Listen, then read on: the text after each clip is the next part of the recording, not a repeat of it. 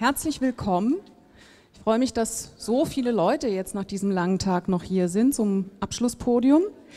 Zu dem Panel Digitaler Klassenkampf, die Zukunft des digitalen Kapitalismus und die Perspektive eines neuen Sozialismus. Jetzt muss ich erstmal ein paar kleinere organisatorische Sachen fragen. Erstens mal, hören alle ganz da hinten auch, was hier vorne gerade gesagt wird? Wunderbar, Daumen hoch, sehr gut, Dankeschön. Dann soll ich ansagen, es gibt gleich einen englischsprachigen Beitrag, aber es gibt draußen Übersetzungsequipment. Ihr könnt euch das draußen jetzt noch holen und ihr hört das auf Kanal 1, ne? Genau, auf Kanal 1. Aber haben sich offensichtlich schon alle geholt. Gut, dann brauchen wir gar nicht warten. Gut, ähm, ich möchte gerne Birgit Mahnkopf entschuldigen, die jetzt eigentlich auch noch hier gesessen wäre, die aber leider kurzfristig absagen musste. Ansonsten sind aber eigentlich alle da, die vorgesehen waren. Und bevor ich jetzt die Referenten und Referentinnen vorstelle, möchte ich kurz was zu meiner Person sagen. Mein Name ist Sabine Nuss, ich bin die Geschäftsführerin des Karl Dietz Verlags. Und ähm, da diese Konferenz diese wunderschöne, dieses wunderschöne Motto hat, keine automatische Revolution, wobei, wobei das K in Klammern ist, das heißt, man kann auch lesen, eine automatische Revolution, das heißt, ihr könnt euch jetzt aussuchen, welche Deutung euch besser gefällt, äh, möchte ich euch ganz kurz nur anekdotisch sagen, dass ich selber vor 13 Jahren, ist es jetzt schon her, ein äh, Buch äh, veröffentlicht habe, das war meine Dissertation über freie Software, über Open Source und über den damals noch üblicheren ähm, freien naja, Floating von Wissen im Internet. Also ihr habt oder viele von euch haben bestimmt auch damals noch Musik aus dem Netz gesaugt in Hülle und Fülle.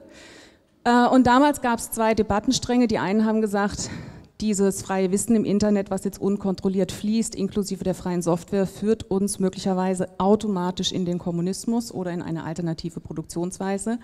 Während die andere eher im Befürchtungsduktus gesagt hat, dieses frei flottierende Wissen, was uns die Digitalisierung gebracht hat, wird das bürgerliche Eigentum äh, untergraben und die Geschäftsgrundlage der äh, großen kreativen Industrien gefährden. Nichts davon ist eingetreten. Die Musikindustrie hat wieder Umsätze und wir alle sind mittlerweile bei iTunes oder bei Spotify und kaufen Musik und Filme ganz normal. Sozusagen das damals noch beklagte Unrechtsbewusstsein ist mittlerweile zu einem Rechtsbewusstsein geworden und das innerhalb von 13 Jahren. Damit möchte ich nur sagen, ähm, von digitalisierten Technologien wie allgemein von Technologien geht sehr wahrscheinlich automatisch gar nichts aus. Ähm, und auch möchte ich darauf hinweisen, dass wir es mit einem Kapitalismus zu tun haben, der sehr hartnäckig ist und sehr schlau und der ständig neue Technologien hervorbringt, die er aber dann auch sofort wieder weiß einzuhegen. Wir haben es also mit einem starken Gegner zu tun. So, ähm, wir werden jetzt so vorgehen, ich werde ganz kurz die Referenten und Referentinnen vorstellen, dann werde ich noch ganz kurz ins Thema einführen und dann beginnen wir mit unserem Gast, der heute aus Italien eingeschaltet wird. Dank der neuen Technologien ist das möglich. Zu meiner Rechten sitzt Bernd Rixinger, ich glaube, den muss ich hier in diesem Kreis gar nicht vorstellen, Vorsitzender der Partei Die Linke, Bernd forderte jüngst in der Stuttgarter Zeitung die Vergesellschaftung der großen Netze, der digitalen Infrastruktur und der Plattform, das heißt ihre Überführung aus der Logik der Profitmaximierung in die öffentliche Hand. Er kritisiert auch, wie sich kapitalistische Lohnarbeit entwickelt hat mittels der Technologien und er möchte dem was entgegensetzen und wird uns auch nachher sagen, was und wir sind schon gespannt. Nina Scholz ist freie Journalistin und Autorin. Sie schreibt für verschiedenste Medien, wie zum Beispiel den Freitag, die Taz, die Frankfurter Allgemeine Sonntagszeitung, Analyse und Kritik. Und sie ist zuständig bei Deutschlandfunk für, ich habe es jetzt mal übersetzt, Publikumsentwicklung, das heißt eigentlich Audience Development, äh, und publiziert rund um die Themen der Digitalisierung oder eben das, was darunter zu verstehen ist. Nina kritisiert auch ein bisschen diese Begrifflichkeit der Digitalisierung, die da tut, macht und kann und verweist gerne auch auf die soziale ähm, Formiertheit der Technologien und ist in diesem Sinne eine dezidierte Kritikerin dieser ähm, sozialen Anwendung der Technologien. Und was dagegen zu setzen wäre, hören wir dann nachher auch von ihr. Evgeny Morozov, der jetzt eingeschaltet ist. Hallo? Äh, ist Autor und Wissenschaftler. Er gilt als einer der dezidiertesten Kritiker des sogenannten digitalen Kapitalismus. Ähnlich wie Nina kritisiert er so eine Art Technikdeterminismus, der sich oft hinter dieser Rede verbirgt von die Digitalisierung tut, die Digitalisierung macht.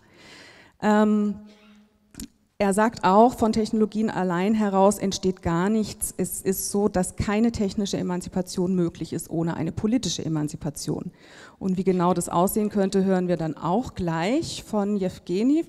Und ich möchte aber ganz kurz etwas vorschicken, ähm, worum es jetzt dann äh, im Folgenden genauer gehen wird. Wie wir alle wissen, oder ich verallgemeine das jetzt mal so, wie ich denke, dass wir alle wissen, hat der Einsatz von neuen Technologien im äh, Kapitalismus in aller Regel nicht die Absicht und das Ziel, die Arbeit zu erleichtern oder sie zu ersetzen, in der Absicht, dass wir uns in die Hängematte legen könnten, was ja schön wäre, äh, sondern die wichtige äh, Motivation ist, unterschiedliche Strategien zur Steigerung des Profits zu finden mittels dieser Technologien.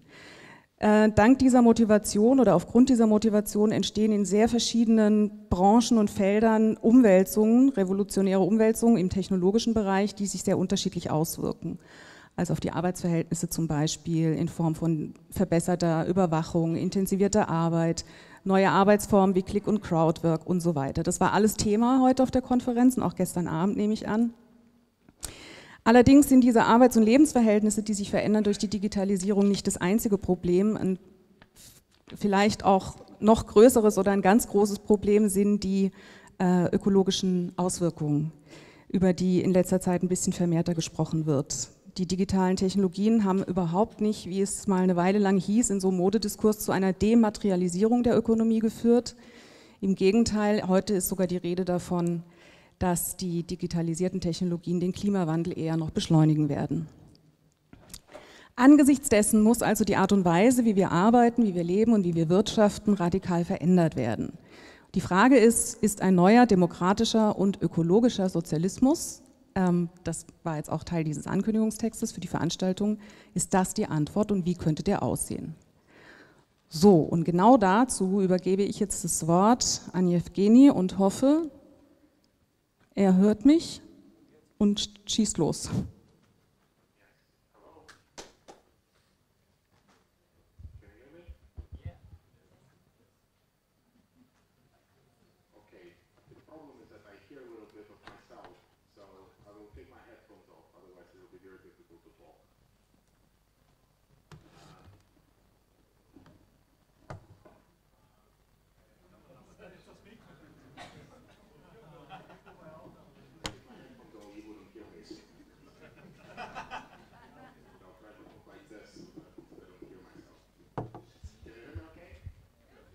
Yes.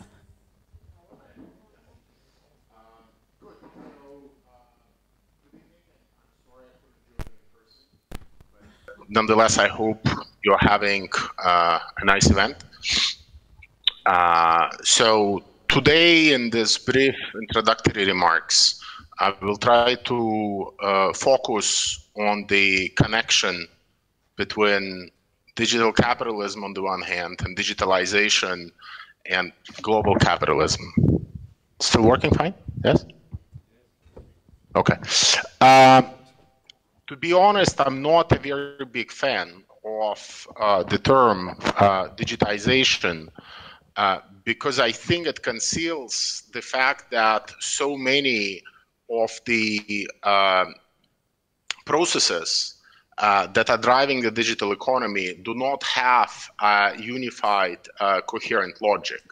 So uh, it is, of course, true that there is a push to interconnect the world and to get every single person and device online, in part because we have all become targets uh, either for online advertising or some kind of data extraction uh, industry. So all of that is true. But beyond that initial, very basic element of getting everybody online, digitization has uh, quite a few logics, uh, and not all of them are essentially alike.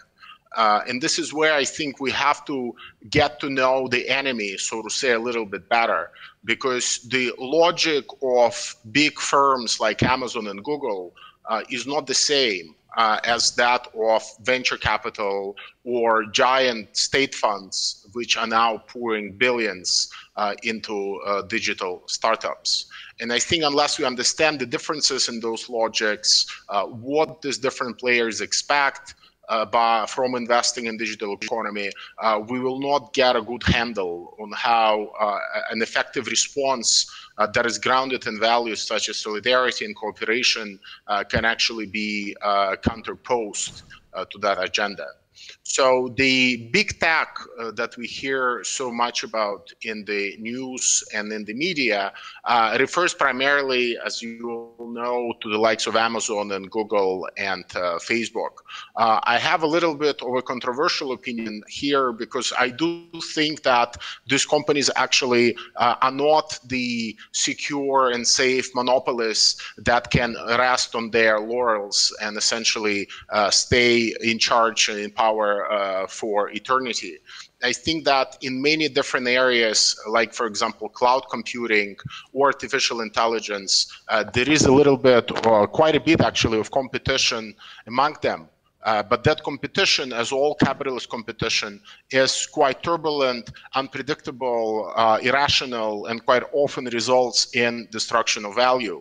So we shouldn't assume that, for example, uh, a business model such as online advertising would always remain uh, the uh, main kind of foundation of the digital economy solely because the very logic of that competition, which is not just national but also global, because quite often you see these firms now fighting uh, Chinese competitors. So that logic might actually result in these companies abandoning certain areas and abandoning certain products and embracing others. So I think we have to be very careful not to apply the toolkit of kind of neoliberal and uh, or neoclassical economics uh, with its uh, kind of uh, inability to understand how capitalist competition actually works uh, to this sector. And the fact that these companies compete does not make them any nicer. As I've said, it only makes them far less predictable and potentially uh, more destructive.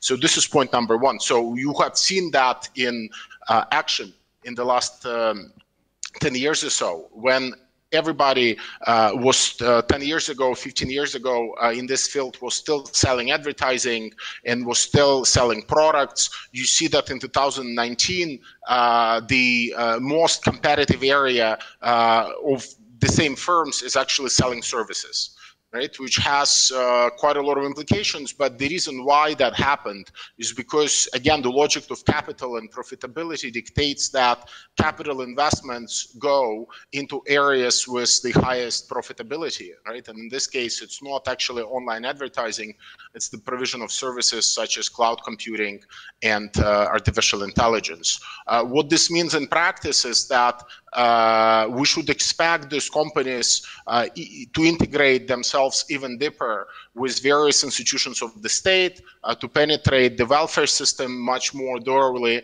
than they have already done. I mean, to some extent, the United States and the United Kingdom are very good examples of this happening. Of course, we know that the cloud computing system of the Pentagon and the CIA is managed uh, used to be managed by Amazon. Now it might go to Microsoft. But even in the United Kingdom, you see uh, companies like DeepMind, which is an affiliate of Google, uh, Alphabet, uh, integrating themselves now into such key areas such as the provision of uh, healthcare services, for example. Uh, so we have to be uh, on the watch out and on the lookout uh, because these companies can do things which are much worth uh, than uh, from the perspective of solidarity and social justice than selling advertising and selling goods. And I think most of the leftist critique of this industry uh, starts uh, from those two corners, right? It's either grounded in some kind of critique of consumerism or it's grounded in a critique of uh, manipulation of our mindset by these companies and that they're hijacking our attention. And I think, you know, as true as it is, uh, we have to be able to articulate a very different vocabulary and a very different set of concerns, some of which will, of course, be grounded in labor, which is a traditional kind of foothold, right? Looking at the ways in which companies like Amazon, which is the obvious example, rely on precarious labor to essentially drive down their costs. I mean, all of that I think is already more or less well understood uh, by the forces on the left. What I think is far less understood is this entanglement with the state institutions that I have pointed out because ultimately it's through those institutions that this massive capital investments uh, into this uh, services will be recouped. I mean, you have to understand that uh, if you look at top 10 technology firms, uh, all of them spend something like 10 million, 10 billion dollars, and some of them spend much more on research and development every year, right? And uh, vast on, on capital investment, let's put it that way. And vast amounts of that money goes towards building data centers, investing into artificial intelligence, expanding cloud computing, and so forth. Uh, and uh, those are not exactly super profitable activities yet as compared to online advertising. So it's obvious that they will be on the lookout for new clients, for new customers, and those customers most likely will come not just from the corporate world, but also from the state, right? And I think that from the perspective of uh, the neoliberal state, uh, getting these companies to come in and resolve the accumulated problems in sectors like education or security or healthcare or even immigration, that would be quite a big boon, at least to, to, to, Silicon Valley. So we have to be prepared for that and we have to be able to tackle that. If you will, it's kind of the next frontier of privatization is, of course, the privatization of this digital infrastructure. So digitization is very often just a euphemism uh, for this other uh, project. Uh, second, uh, I would like to highlight that, uh, you know, parallel to this logic and this development of big tech and this Amazons and Googles and uh, Facebooks of the world, there are also uh, other players which we should not uh, forget about.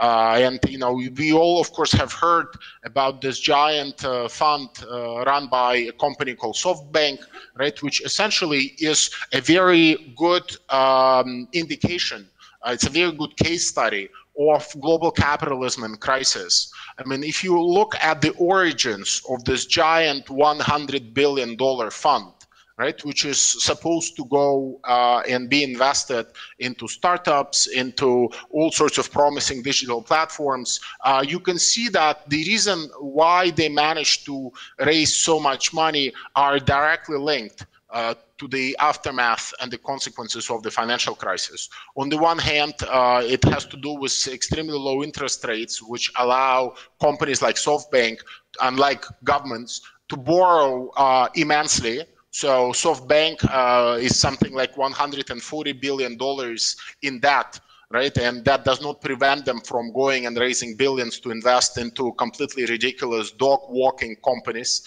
which they did. Uh, but on the other hand, it's uh, the fact that uh, quite a lot of other capitalists, essentially, you know, people sitting on capital and uh, uh, unable to find productive outlets for it uh, because the interest uh, rate environment has been not particularly receptive to investing in stocks and bonds on the one hand, and uh, corporate activity does not seem to be uh, particularly reassuring. So a lot of idle money in the global economy, it finds its way to uh, essentially these uh, funds, which then uh, invest into platforms where the idea is that by pouring a lot of cash into each of those platforms, you would be able to destroy all local competition because they would not they would not be able to sustain such losses as you could because you just have uh, you know billions of dollars to invest and your competitors don't right? So this is the story of uber. This is the story of WeWork. Uh, this is the story of several other companies funded by uh, softbank right? Which itself draws its money not just by the way from uh, the sovereign wealth fund of saudi arabia or the gulf states. Uh, it also has a lot of corporate money. So I think actually Daimler gave it something like 1 billion euro to invest. So you can actually potentially trace the money that has been sunk in uh, to WeWork or into Uber to even uh, German capital. Right, but I think one thing that we have to remember from this kind of big map uh, that I'm drawing is that we have to uh, be prepared, right, to the fact that uh, this idle capital, given the current macroeconomic conjuncture, uh, is only going to double and triple, right? We will probably, unless SoftBank and similar funds screw up really badly, we will see more and more spare capital finding its way to these vehicles, which will then allow the likes of Uber to keep losing their four or five billion dollars, four or five billion uh, dollars a year, billion dollars a year, right, in the hopes of one day making a profit right? Uh, and of course, the conditions of possibility for that profit are themselves quite uh, risky, right? On the one hand, it means that Uber can become profitable, but only if it manages to destroy all its competition. And second, it will become profitable if it radically cuts its costs right? Because if a company loses $5 billion in a row for four years, uh, clearly uh, it cannot continue like that forever.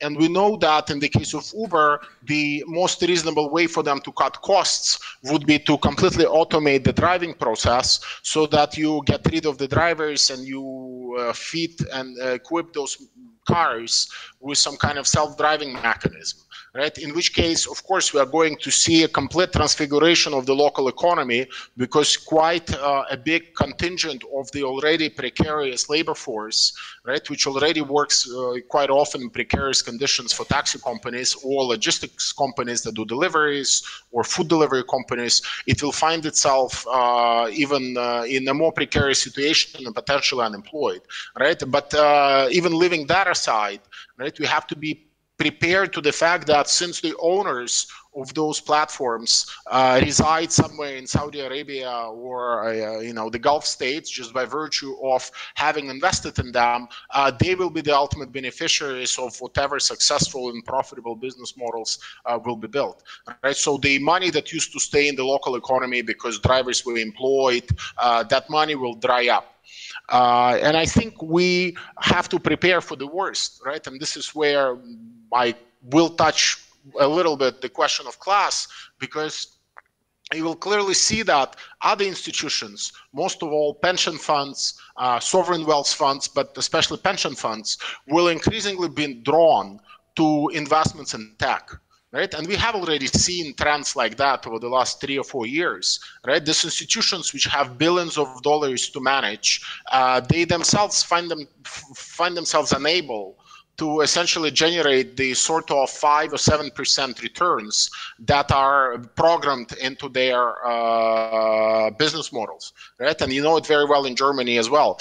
Uh, and of course, the most uh, clean and easiest option on the horizon for many of them is to basically start investing into these giant funds of funds like uh, this SoftBank's Vision Fund, and then uh, hoping that it will produce the kind of return that can be redistributed back to pensioners or workers or whoever whose money they are uh, uh, investing right? And this is where we get into very tricky territory right? And i think if you look at something like uh, the sovereign wealth fund of norway right which is ultimately the main mechanism for plugging in the budget holes in uh, that country, right? So, I mean, this is what they live off. So, when they have a huge budget deficit, they draw on the returns of the sovereign wealth fund, right? Which is a model that appeals to quite a lot of people, even on the left, in both Europe and the United States. But if you look at the actual most successful and productive investment uh, decisions and placements over the last few years, you will see that they are heavily exposed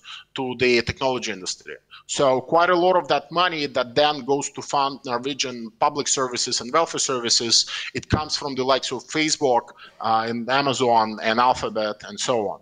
Right, which uh, again starts a very tricky discussion, and we can of course can have an ethical debate about the extent to which uh, it's reasonable for such funds to be investing in technology industry, just like we've had the same debate about the arms industry, for example. But I think we have to understand that uh, at this point, uh, there is no way to understand digitalization and the kind of big forces that are driving it uh, without having uh, a clear analysis of global capitalism as of 2019, right? Not at some kind of abstract level, but at a very uh, empirical, specific level of, you know, fund managers, asset managers, pension funds, and so forth, and venture capitalists, of course, not having enough opportunities to invest in right? And this sets in turn this dynamic where there is just too much money chasing too few good ideas. So you end up periodically with a lot of bad ideas being funded, which uh, generates disruptions of its own because quite a lot of stupid companies uh, stay afloat and uh, cause a lot of damage for the sole reason that uh, there is an investor willing to continue pouring money into them, which artificially drives up their valuation right? Uh, and on the other hand, it eventually creates this powerful uh, global uh, platforms like Uber, which would never be possible if there was no possibility to dump 20 billion dollars in it on the assumption that one day this money will be repaid. And when you are dealing with such giant forces, of course, the counter strategy has to take stock of the size and the scale of uh, the enemy, so to say, right? And in this case, uh, without being able to uh, articulate some kind of a counter strategy to which, you know, in the short term, I'm afraid, will have to play by the capitalist rules, and it will actually have to, in some sense, uh, identify what are some of those strategic areas inside national European economies that should not be up for grabs by the likes of SoftBank because you know if we don't do that either this kind of uh, big tech in the face of big corporations like amazon and google or big financial capital in the face of venture capitalist funds like softbank is going to come and grab whatever is there to be used and potentially repurposed for alternative social transformation right? And my biggest fear is that if we uh, lose uh, that infrastructure if we lose the set of technologies and sensors and networks and uh, uh, platforms that can be repurposed to essentially create more horizontal solidarity-based relations in society, to generate uh, uh, a very different ethic, right, which is not an ethic of competition, but an ethic of uh, cooperation and collaboration. Uh, that all of that requires access to very tangible, very expensive, and increasingly difficult to defend uh, infrastructures, right? And everything we've seen so far uh, suggests that uh, there is just too much idle capital and too, too much kind of uh, uh, competition between those firms to leave those resources, which a progressive leftist project needs, uh, untouched uh, right? And this is where I think the big intellectual challenge lies, right? On the one hand, of course, we need to go and do a I think, a big uh, intellectual and abstract work in order to articulate what this different set of values in the 21st century looks like. And we all know that they are equality, solidarity, and justice. But what do they mean in the times when uh, all of our lives are mediated by platforms that are new ways to organize production, there are new ways to organize governance,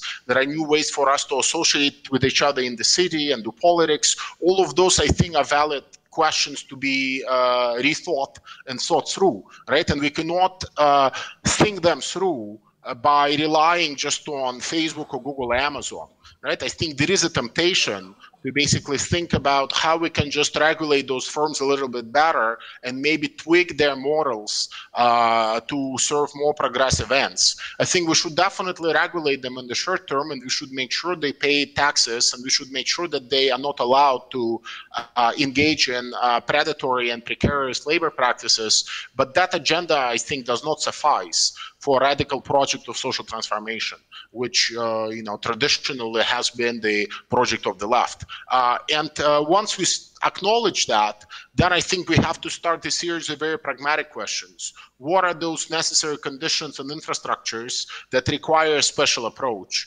And what kind of politics of the state and politics of social movements do we need in order to protect that? And this is where I think things will get very complicated because very few of those big infrastructural pushes can happen uh, on a level that's not European level right? The amounts of money are immense. Uh, doing it on a national level uh, might be easier, but it ultimately will not protect you against the likes of Amazon and Google.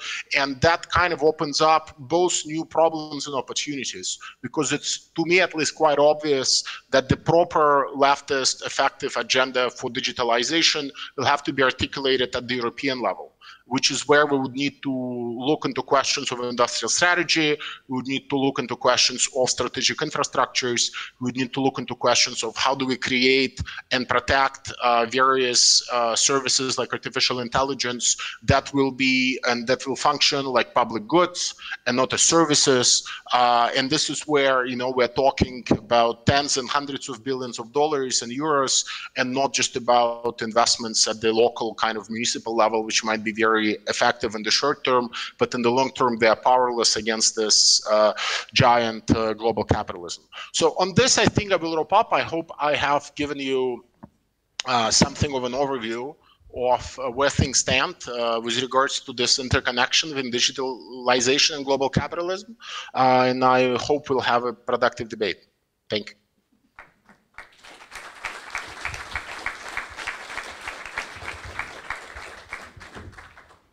Ganz herzlichen Dank, Evgeni. Wir haben jetzt schon so ein paar kleine Vorschläge am Ende gehört und ich würde jetzt gar nicht äh, viel reden wollen oder nochmal was fragen, sondern einfach direkt an Nina weitergeben. Alles klar. Ähm, ähm, ja, ähm, ich sitze hier als Journalistin und äh, Sabine hat es ja schon gesagt, dass ich mich schon relativ lange mit der Digitalwirtschaft beschäftige und auch mit der Analyse dieser Unternehmen, wie sie ideologisch wirken, wie sie tatsächlich in der Wirtschaft wirken, wie sie politisch wirken. Und ähm, vor ein paar Jahren habe ich aber eigentlich mehr oder weniger einen Schwenk gemacht, inhaltlich, muss ich sagen, weil ähm, ich mich, hört ihr mich alle? Ja, ist es okay? Ähm, weil ich mich immer mehr mit den tatsächlichen Klassenkämpfen innerhalb unseres Kapitalismus beschäftigt habe, weil ich auch gemerkt habe, dass, ähm, also ich finde total wichtig, was Elfkini gesagt hat und ich finde das auch alles, ähm, also ich, da gibt es überhaupt keinen Dissens. Aber ähm, wenn wir uns nur damit beschäftigen, wie dieser Kapitalismus funktioniert, ähm, dann werden wir einfach keine Alternativen dazu erarbeiten. Und tatsächlich ähm, erleben wir seit ein paar Jahren Klassenkämpfe, die Perspektiven aufzeigen, wo lange gar keine mehr waren. Also ich habe manche davon begleitet, wie zum Beispiel die Amazon-Kämpfe, die von Deliveroo, ganz viele und zahlreiche. Und ähm, ich kann tatsächlich sagen, es gibt nichts mehr, was mehr Hoffnung macht, auch gegen die Übermacht dieser Konzerne, ähm, wenn man tatsächlich sich damit auseinandersetzt, was Solidarität zum Beispiel ausrichten kann. Und dass es nicht nur Infrastrukturen sind, sondern dass tatsächlich Unternehmen sind, wo Arbeiterinnen und Arbeiter arbeiten und die tatsächlich auch was ausrichten können. Ich weiß, wir stehen da noch ganz am Anfang, aber ich glaube, und so sehe ich im Moment meine Arbeit da auch als Journalistin oder als politisch Aktive, ähm, dass wir davon lernen können, dass wir aus den Fehlern dieser Kämpfe lernen können, aber dass wir auch aus den Siegen lernen können und dass wir uns die ganz genau angucken müssen. Und ich bin ehrlich gesagt ziemlich, das ist ja überschrieben, das Panel mit äh, digitaler Klassenkampf, Fragezeichen. Und Klassenkampf natürlich unbedingt. Ich glaube, nichts anderes rettet uns als wir selber. Und ähm, ich bin auch froh, dass diese Klassenkämpfe zurück sind. Also ich meine, wer in den 90ern oder den Nullerjahren dabei war, ähm, also Sabine hat es ja eben kurz angerissen, hat die ganze Miserie erlebt. Da gab es ja irgendwann gar keine Klassen mehr oder dann gab es eine kreative Klasse, die war dann nicht mehr mehr Kapitalist oder Arbeiterin. Ähm, Arbeit sollte dann irgendwie immateriell sein. Ich glaube, jeder Click-Worker, der vor seinem Computer sitzt oder jeder Deliveroo-Fahrer oder jede Deliveroo-Fahrerin kann sagen, immaterielle Arbeit ist das nicht. Ähm, und also erleben wir heute tatsächlich ähm, sehr, sehr spannende Klassekämpfe. Also auch da zum Beispiel im Herzen der Bestie. Also ich finde es ganz spannend, was zum Beispiel derzeit bei Google passiert. Ich weiß nicht, wie viele das hier mitgekriegt haben. Es gab zum Beispiel ein Google Walkout, quasi ein internationaler Mini-Streik. Ähm, nach MeToo standen die Arbeitsbedingungen für Frauen bei Google in der Kritik. Also die haben sich organisiert und haben gesagt, wir sind hier nicht nur schlechter bezahlt, wir sind hier auch Belästigungen ausgesetzt. Viele Google Google-Arbeiter, männliche, haben sich dem angeschlossen und ich glaube, am 11.11.2018 haben sie einen internationalen Walkout gemacht, sind also aus den Google-Zentralen rausgegangen ähm, in jeder Stadt, ne, immer um die gleiche Zeit. 24 Stunden hat es gedauert. Ähm, in, in Zürich gibt es bei Google im Moment eine gewerkschaftliche Organisierung. Ich glaube, das hätte sich vor ein paar Jahren oder vielleicht noch vor ein paar Monaten keiner äh, vorstellen können, dass das tatsächlich passiert. Und ähm, von ein paar Wochen oder von letzte Woche vor zwei Wochen sind äh, gewerkschaftlich organisierte Google-Arbeiterinnen entlassen worden und es hat eine Welle der Solidarität ausgelöst. Das sind tatsächlich selbst bei Google nur ein paar der Beispiele. Ähm, also Klassenkampf auf jeden Fall und ich glaube, da passiert auch viel und da müssen wir genau hingucken. Ähm, und uns so natürlich auch solidarisieren. Digitaler Klassenkampf und so ist das äh, Panel ja hier überschrieben. Ich habe ehrlich gesagt überhaupt gar keine Ahnung, was das sein soll. Ähm, natürlich erleben wir eine zunehmende Digitalisierung.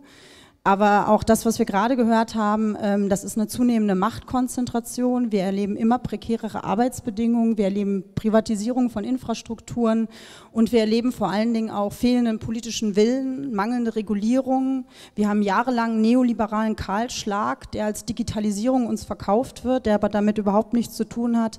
Wir haben Jahre, Jahrzehnte der linken Ideenlosigkeit hinter uns, genauso wie mangelnde linke Solidarität und mangelnde linke Fokussierung. Und ich, also da bin ich auch total selbstkritisch auf jeden Fall.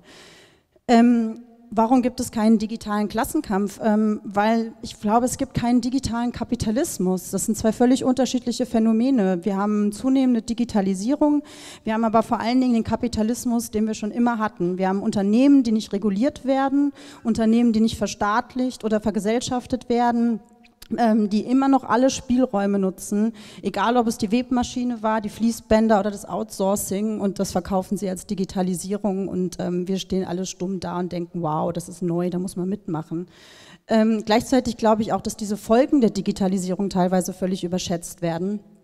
Also ich habe ja hier schon öfter irgendwie bei der Linkspartei, netterweise werde ich immer wieder eingeladen, auch wenn ich das immer wieder kritisiere, aber auch die Linkspartei hat sich so einem so feuilletonistischen Katastrophismus hingegeben. Da wurde dann über das bedingungslose Grundeinkommen als Lösung irgendwie für dem, was man irgendwie an prekärer Arbeit irgendwie an Problemen da hat, äh, gesprochen. Irgendwie so, es wurde über linke Automatisierung gesprochen, statt darüber, wie wir Konzerne wie Google, Amazon, Uber die Stirn bieten und sie tatsächlich zerschlagen.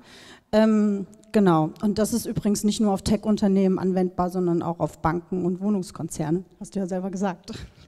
Genau. Ähm, bevor ich jetzt aber über alle möglichen Felder eines solchen Klassenkampfs gegen Tech-Unternehmen weiterspreche, wollte ich gerne sagen, also ich habe äh, gestern wurde das ja quasi, äh, glaube ich, veröffentlicht, dieses Strategiepapier Digitale Demokratie statt Herrschaft der Monopole von Katalin Genburg, Katja Kipping und Anke Domscheit-Berg und ich finde, ähm, man sollte das trotzdem nicht kleinreden, was da drin steht, ähm, auch wenn wir gerade natürlich gehört haben, dass es nicht reicht, um diese ähm, Konzerne tatsächlich zu besiegen. Aber ich glaube, da stehen ein paar Dinge drin, die trotzdem total wichtig und dringend sind. Und die, wir stehen da ganz am Anfang, diese Konzerne zu entmachten und zu bekämpfen. Und trotzdem muss man es Schritt für Schritt machen. Also ich glaube zum Beispiel, dass ähm, es ein öffentlich-rechtliches Internet braucht. Das klingt so zahm und das ist es auch. Aber tatsächlich ist es so. Also ich arbeite ja selber beim öffentlich-rechtlichen. Und es will mir nicht in den Kopf, dass wir diese Plattformen benutzen und benutzen müssen, dass es keine Alternativen dazu gibt, dass es nicht mal sowas gibt wie eine europäische Mediathek, weil so ne, alle, alle sieben Tage müssen wir alle Audioaufnahmen, alle Videoaufnahmen äh, runternehmen. Genau. Also da stehen auch weitere richtige Sachen drin, wie Datenmonopole zerschlagen, ordentlich besteuern, Datensouveränität. Selbst das ist nicht wirklich machbar im Moment. Aber ehrlich gesagt, ich finde es auch ein bisschen mager für eine Linkspartei. Also das sind irgendwie Inhalte, die mittlerweile auch im Feuilleton der Süddeutschen verhandelt werden. Selbst der neoliberale Economist spricht darüber. Und ähm, ich finde, da sind die Klassenkämpfe, die tatsächlichen, teilweise schon viel weiter. Und das steht ja tatsächlich auch in diesem Papier drin. Da steht zum Beispiel, stadtpolitische Initiativen machen seit Jahren auf diese Missstände aufmerksam und fordern im vergangenen Sommer dem bekannten Volksentscheid entsprechend Airbnb enteignen. Ja, aber warum fordert das Papier das denn nicht? Also das verstehe ich zum Beispiel nicht. Also das ist halt irgendwie, da werden so zahme Lösungen nur vorgeschlagen. Genau. Und dann steht da weiter, also ne, das fand ich auch irgendwie ganz bezeichnend für dieses Papier. Ähnlich wie in den 30er Jahren, als es Demokratinnen und Arbeiterinnenbewegungen mit Präsident Franklin Roosevelt in den USA gelang, den entfesselten Industriekapitalismus wohlfahrtsstaatlich einzuhegen, stehen wir heute vor der Aufgabe, den digitalen Kapitalismus wieder an die Kette der demokratischen Regulation zu legen. Das heißt, es braucht jetzt nicht nur eine ökologische Modernisierung, sondern auch einen digitalen New Deal. Unsere Perspektive dafür ist klar. Wenn etwas zu groß für die Demokratie ist, ist es höchste Zeit, es kleiner zu machen. Das stimmt. Aber ich fand auch, als ich das gelesen habe, geht es noch zahmer. Also das ist halt so maximal Sozialdemokratie, aber das ist doch irgendwie keine Vision, die man irgendwie diesen digitalen Konzernen entgegensetzen kann, um den Leuten das Gefühl zu geben, hier lohnt es sich irgendwie zu kämpfen, wir haben irgendwie eine Vision.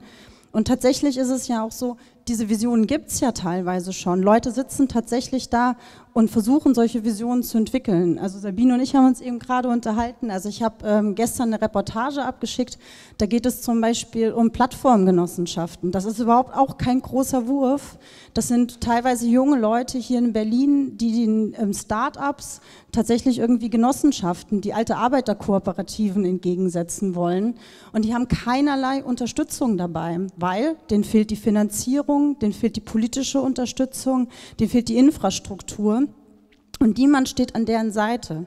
Und dann nochmal zurück zum Begriff irgendwie digitaler Kapitalismus. Also ich muss sagen, also ich habe mir jetzt nochmal zwei, drei Studien irgendwie angeguckt letzte Woche, ähm, ob es tatsächlich eine Zunahme der Gig Economy, also der digitalen Gig Economy ähm, in Europa gibt. Und äh, die Gig Economy selbst wächst eigentlich gar nicht. Was tatsächlich wächst, ist die Gig Economisierung ähm, der Arbeitswelt. Also ich meine, ich weiß nicht, wie viele hier sind, aber es gibt immer mehr Freiberufler, es gibt immer mehr Menschen, die tatsächlich per Auftrag arbeiten, die dann aber nicht abgesichert sind. Es gibt auch Leute, die entscheiden sich dafür. Ich finde, das ist auch vollkommen in Ordnung. Ich zum Beispiel auch. Aber zum Beispiel für sowas, ähm, das kann man nicht unter einem Begriff wie Digitalisierung behandeln. So, das ist eine, das ist eine Arbeitswelt. Wenn man das nur unter Digitalisierung behandelt, hat man hinterher irgendwie drei, vier irgendwie Bereiche gerettet. Aber tatsächlich braucht man eine große Lösung für universale Arbeiterinnenrechte. Und ich finde, das müsste eigentlich ein Projekt der Linkspartei sein. Wenn es das schon ist, dann lasse ich mich natürlich gerne belehren. Genauso wie was man bei Amazon oder bei Deliveroo oder so erlebt, ist die Überwachung am Arbeitsplatz, die Arbeitszeitverdichtung, die immer anonymere Ansprache irgendwie so der Arbeiterinnen und Arbeiter. Das haben jetzt nicht die digitalen Unternehmen ähm, erfunden. Und ich muss ganz ehrlich sagen, selbst an meinem Arbeitsplatz im behäbigen öffentlich-rechtlichen nimmt genau das zu. Und ähm, da hilft leider keine Arbeitszeitverkürzung und keine Sabbaticals, wie es da auch manchmal so schön heißt. Ähm, Genau. Ähm, ich glaube, es braucht große Würfe, es braucht große ähm, tatsächlich ähm, Pläne. Also ähm, hier steht irgendwie oben drüber irgendwie demokratischer Sozialismus oder was, ein neuer Sozialismus. Und ähm, ich denke, darüber müssen wir uns auch unterhalten. Und ich glaube, dass zum Beispiel das, was am Ende irgendwie ähm, bei Evgeny vorgekommen ist, tatsächlich auch Fragen sind, über die wir sprechen müssen, nämlich ähm, wie wollen wir diese Unternehmen entmachten und auch was wollen wir mit ihnen anfangen? Ist Amazon eine Struktur, die man vielleicht nach einer Enteignung noch gebrauchen kann? Muss man Facebook nur zerschlagen? Und ich glaube tatsächlich, also so erlebe ich das zumindest, wenn ich rausgehe und mit Menschen spreche, ähm, dass sie schon Lust haben auf solche großen Visionen, die dem entgegenstehen und wie ein besseres Leben aussehen kann. Aber ich glaube, dass man es nicht nur unter digital verhandeln kann. Genau.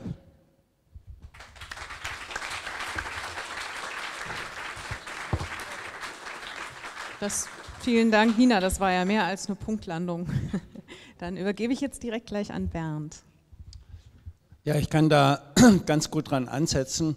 Ich bin übrigens auch der Meinung, dass die Linke unbedingt bei den äh, Klassenkämpfen, Streiks und Auseinandersetzungen dabei sein muss und die äh, vorwärts treiben muss. Ich glaube, das machen wir aber auch an vielen Stellen. Aber Luft nach oben besteht immer. Ja. Wir sind ja leider auch keine 600.000 Mitgliederpartei, sondern nur eine 60.000 Mitgliederpartei. Also es kann aber noch mehr werden, wenn ich so in den Saal gucke. Ja, ich will ein paar Dinge aufgreifen, äh, die hier angesprochen wurden. Also der erste Punkt ist, natürlich verändert die Digitalisierung und ich teile im Übrigen die Einschätzung, dass wir nicht über digitalen Kapitalismus reden können. Also Kapitalismus bestimmt sich nicht nach einer Technikform. Das äh, äh wäre, glaube ich, falsch. Aber wir haben eine Digitalisierung. im äh, Kapitalismus.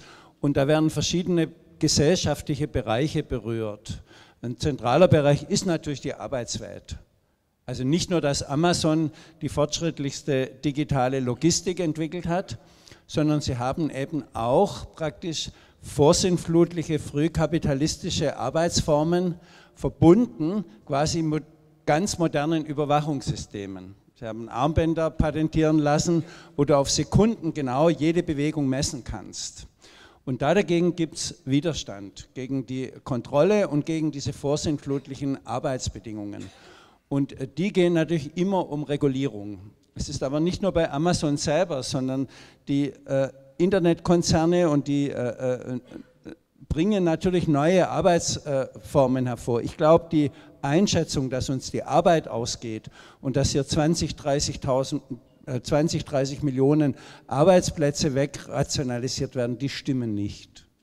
Die Produktivität ist eher sogar gesunken in der Gesamtgesellschaft. Aber was passieren wird, ist, dass es, was wir jetzt schon haben, sehr viele deregulierte Arbeitsformen, sehr viele prekäre, sehr viele Scheinselbstständigkeiten und Abhängigkeiten, dass diese Tendenzen verschärft werden. Weil wir natürlich auch neue Betriebsbegriffe bekommen. Da wählen sich Leute mit Apps ein für bestimmte Aufträge, die sie bekommen. Das ist nicht reguliert, weder durch Tarifverträge, noch durch Betriebsräte, noch durch Gewerkschaften oder ich habe jetzt mit dem NGG-Sekretär von äh, Liverando gesprochen, die da gerade eine Kampagne machen zur Regulierung der Arbeitsbedingungen. Die haben aber schon das Problem, dass die Leute ja keinen Betriebsort mehr haben. Das heißt, die kriegen ihre Aufträge über ihre Apps und dann fahren sie mit ihren Fahrrädern äh, äh, äh rum, aber es gibt keinen Betrieb mehr, wo sie sich treffen. Also die Organisationsformen müssen sich ändern, die Regulierungsformen müssen sich ändern.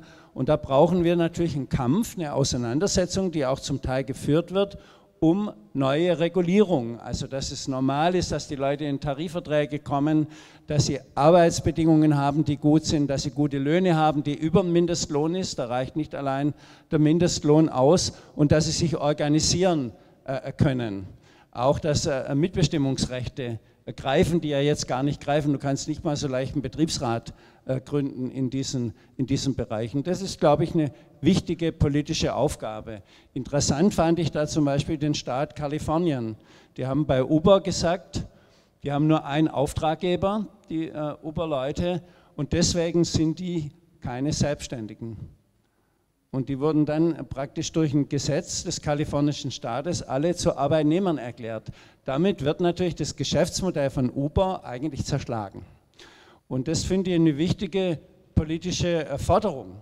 Also dass diese ganzen Solo-Selbstständigkeiten, die ja nicht wirklich selbstständig sind, die nicht über sich verfügen können und alles Formen sind, um noch miesere Ausbeutungsmethoden durchzusetzen, die müssen wir beseitigen. Das betrifft Regulierung. Aber natürlich greifen diese, äh, äh, die Digitalisierung nicht nur ein in den Bereich der Beschäftigten, sondern sie versuchen ja in andere Bereiche einzudringen, zum Beispiel in den ganzen Bereich des Öffentlichen.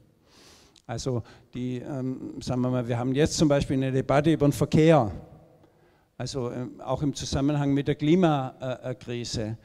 Und anstatt praktisch bei uns öffentlichen Personennahverkehr auszubauen und äh, ähm, die Städte fußgänger- und fahrradfreundlicher zu machen und äh, nachhaltige Verkehrssysteme zu entwickeln, entsteht natürlich das Bedürfnis der Automobilindustrie, möglichst viele Autos zu verkaufen und möglichst viele Premium-Autos und SUVs, die eben mit Elektromotoren ausgerüstet sind. Und äh, äh, natürlich wollen sie dadurch damit auch Verkehrsleitsysteme entwickeln oder das äh, mobile Fahren, das keinen wirklichen Fortschritt gibt. Aber äh, das praktisch, äh, da geht es ja nicht nur um, um, ums Fahren, sondern da geht es um Big Data Systeme, die quasi das äh, ähm, äh, ähm, überhaupt erst ermöglichen sollen. Und da wird es einen riesen Konkurrenzkampf geben zwischen den Internetkonzernen und den Automobilkonzernen. Wer stellt denn diese äh, äh, Dateninfrastruktur zur Verfügung? Sind praktisch die Automobilisten nur noch Hardwarezulieferer für Google und Apple und Amazon oder verfügen sie über das selber? Das geht aber generell gesellschaftlich in die falsche Richtung. Das heißt, die linke Politik muss sagen, wir müssen eigentlich weniger Autos produzieren. Und wir müssen die Automobilindustrie in eine nachhaltige Mobilitätsindustrie umwandeln. Und im Zentrum müssen praktisch Fußgänger, Fahrradfreundliche und äh, äh Städte sein, bei denen der ÖPNV ausgebaut wird und möglichst ticketfrei ist. Und deswegen zum Klassenkampf. Das heißt natürlich, wenn du so ein linkes Konzept vertrittst, dann musst du das durchsetzen gegenüber den Internetkonzernen und gegenüber der Automobilindustrie. Oder die ganze Frage der Vernetzung. Ich bin äh, absoluter Aufgabe, dass die, äh, die, die Frage der Netze eine Aufgabe der öffentlichen Hand ist. Also das muss Bestandteil der öffentlichen Daseinsvorsorge sein. Bei uns hat man ja das Gegenteil gemacht, man hat es ausgeschrieben für große Konzerne, Telekom und andere, hat ihnen äh, relativ wachsweiche Auflagen erteilt ähm, und die Folge ist, bestimmte Bereiche werden überhaupt nicht äh, ähm, vernetzt, sondern vernetzt wird es dort, wo es attraktiv ist und wo möglichst viel Gewinn gemacht werden kann. Eine Stadt in der Nähe von Stuttgart, Schorndorf, die haben gesagt, das machen wir nicht so, wir ähm, bauen die Netze selber aus und, haben, und, und, behalten sie in öffentlicher Hand und sorgen dafür, dass jeder Zugang hat und jeder einen, einen Netzanschluss hat. Ich finde, hier müssen wir ganz klar sagen, Bestandteil der öffentlichen Infrastruktur und das muss auch in öffentlicher Hand. Ähm, die Privatisierung der Telekom war ein Riesenfehler. Da hätte eigentlich ja der Staat einen Betrieb gehabt, der sowas machen konnte. Äh, deswegen haben wir auch gesagt, die Telekom muss wieder rückvergesellschaftet werden. Ja, ich finde ähm, ein, ein, wichtiger äh, Punkt. Äh, Im Übrigen solche Konzerne wie Google legen ja selber auch Glasfaserkabeln schon. 10 Prozent der weltweiten Glasfaserkabeln werden von Google äh, praktisch installiert. Das sind nicht einfach nur Werbekonzerne oder die äh, gar nichts machen, sondern die haben inzwischen schon eine ziemliche Produktdiversifizierung und versuchen sich alles unter den Nagel zu reißen, was es dort äh, äh, gibt. Also dort ist, glaube ich, äh, völlig klar, dass wir das in öffentliche Hand nehmen müssen. Genauso solche Portale wie Zimmervermietung gehört in kommunale Hand. Also wenn man überhaupt private Zimmer vermieten will, das muss man auch noch überlegen, dann gehört es in die öffentliche Hand und nicht in, den, äh, in, in die Hand von äh, Konzernen. Ob das eine reine Verstaatlichung ist oder ob wir das anders machen, ich glaube schon, dass wir die Internetkonzerne nicht einfach nur verstaatlichen sollten, sondern dass wir natürlich Genossenschaften brauchen oder, ich habe auch in der Arbeitsgruppe die Idee eingebracht, nach dem Prinzip der öffentlichen Rundfunkanstalten wo verschiedene Akteure äh, drin sind, äh, die das äh, verwalten, äh, Gewerkschaften, Bürgerinitiativen, das muss ja nicht sein wie dieser bürokratische Rundfunk, aber wo das einen, einen, demokratischen Gehalt hat, weil man will vielleicht auch nicht alle Daten dem Staat übergeben. Obwohl mir dann der IT-Experte in der Arbeitsgruppe gesagt hat, naja, täusch dich mal nicht, die ganzen Daten, die die Internetkonzerne haben, hat der Staat auch. Jetzt schon. Also es gibt eine enge Verflechtung zwischen äh, Militär, äh, Staat äh, und den großen Internetkonzernen. Also, aber wir wollen ja nicht, dass da eine Riesenkontrolle erhoben wird, sondern dass das einen gesellschaftlichen Nutzen hat. Aber um sowas zu machen, musst du sie erstmal in öffentliche Hand überführen. Das geht ja auch national nicht so ohne weiteres. Oder du musst staatliche äh, Strukturen und Konzerne aufbauen, die dagegen sind, europäischen Internetkonzernen oder ähnliche Dinge.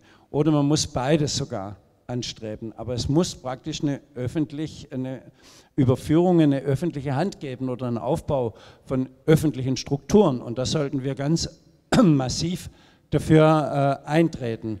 Wie wir überhaupt gesagt haben, das ist alles Bestandteil von öffentlicher Infrastruktur und die Philosophie der Linken, was die öffentliche Infrastruktur betrifft und die öffentliche Daseinsvorsorge, ist meines Erachtens ziemlich weit entwickelt und auch nicht so zart äh, sozialdemokratisch, sondern ähm, ja, leider haben sich Katja und ich nicht durchgesetzt, dass in unser Programm reinkommt, dass das Infrastruktursozialismus heißt. Obwohl ich ja auch so schlau bin und weiß, dass allein Infrastruktur keinen Sozialismus ausmacht.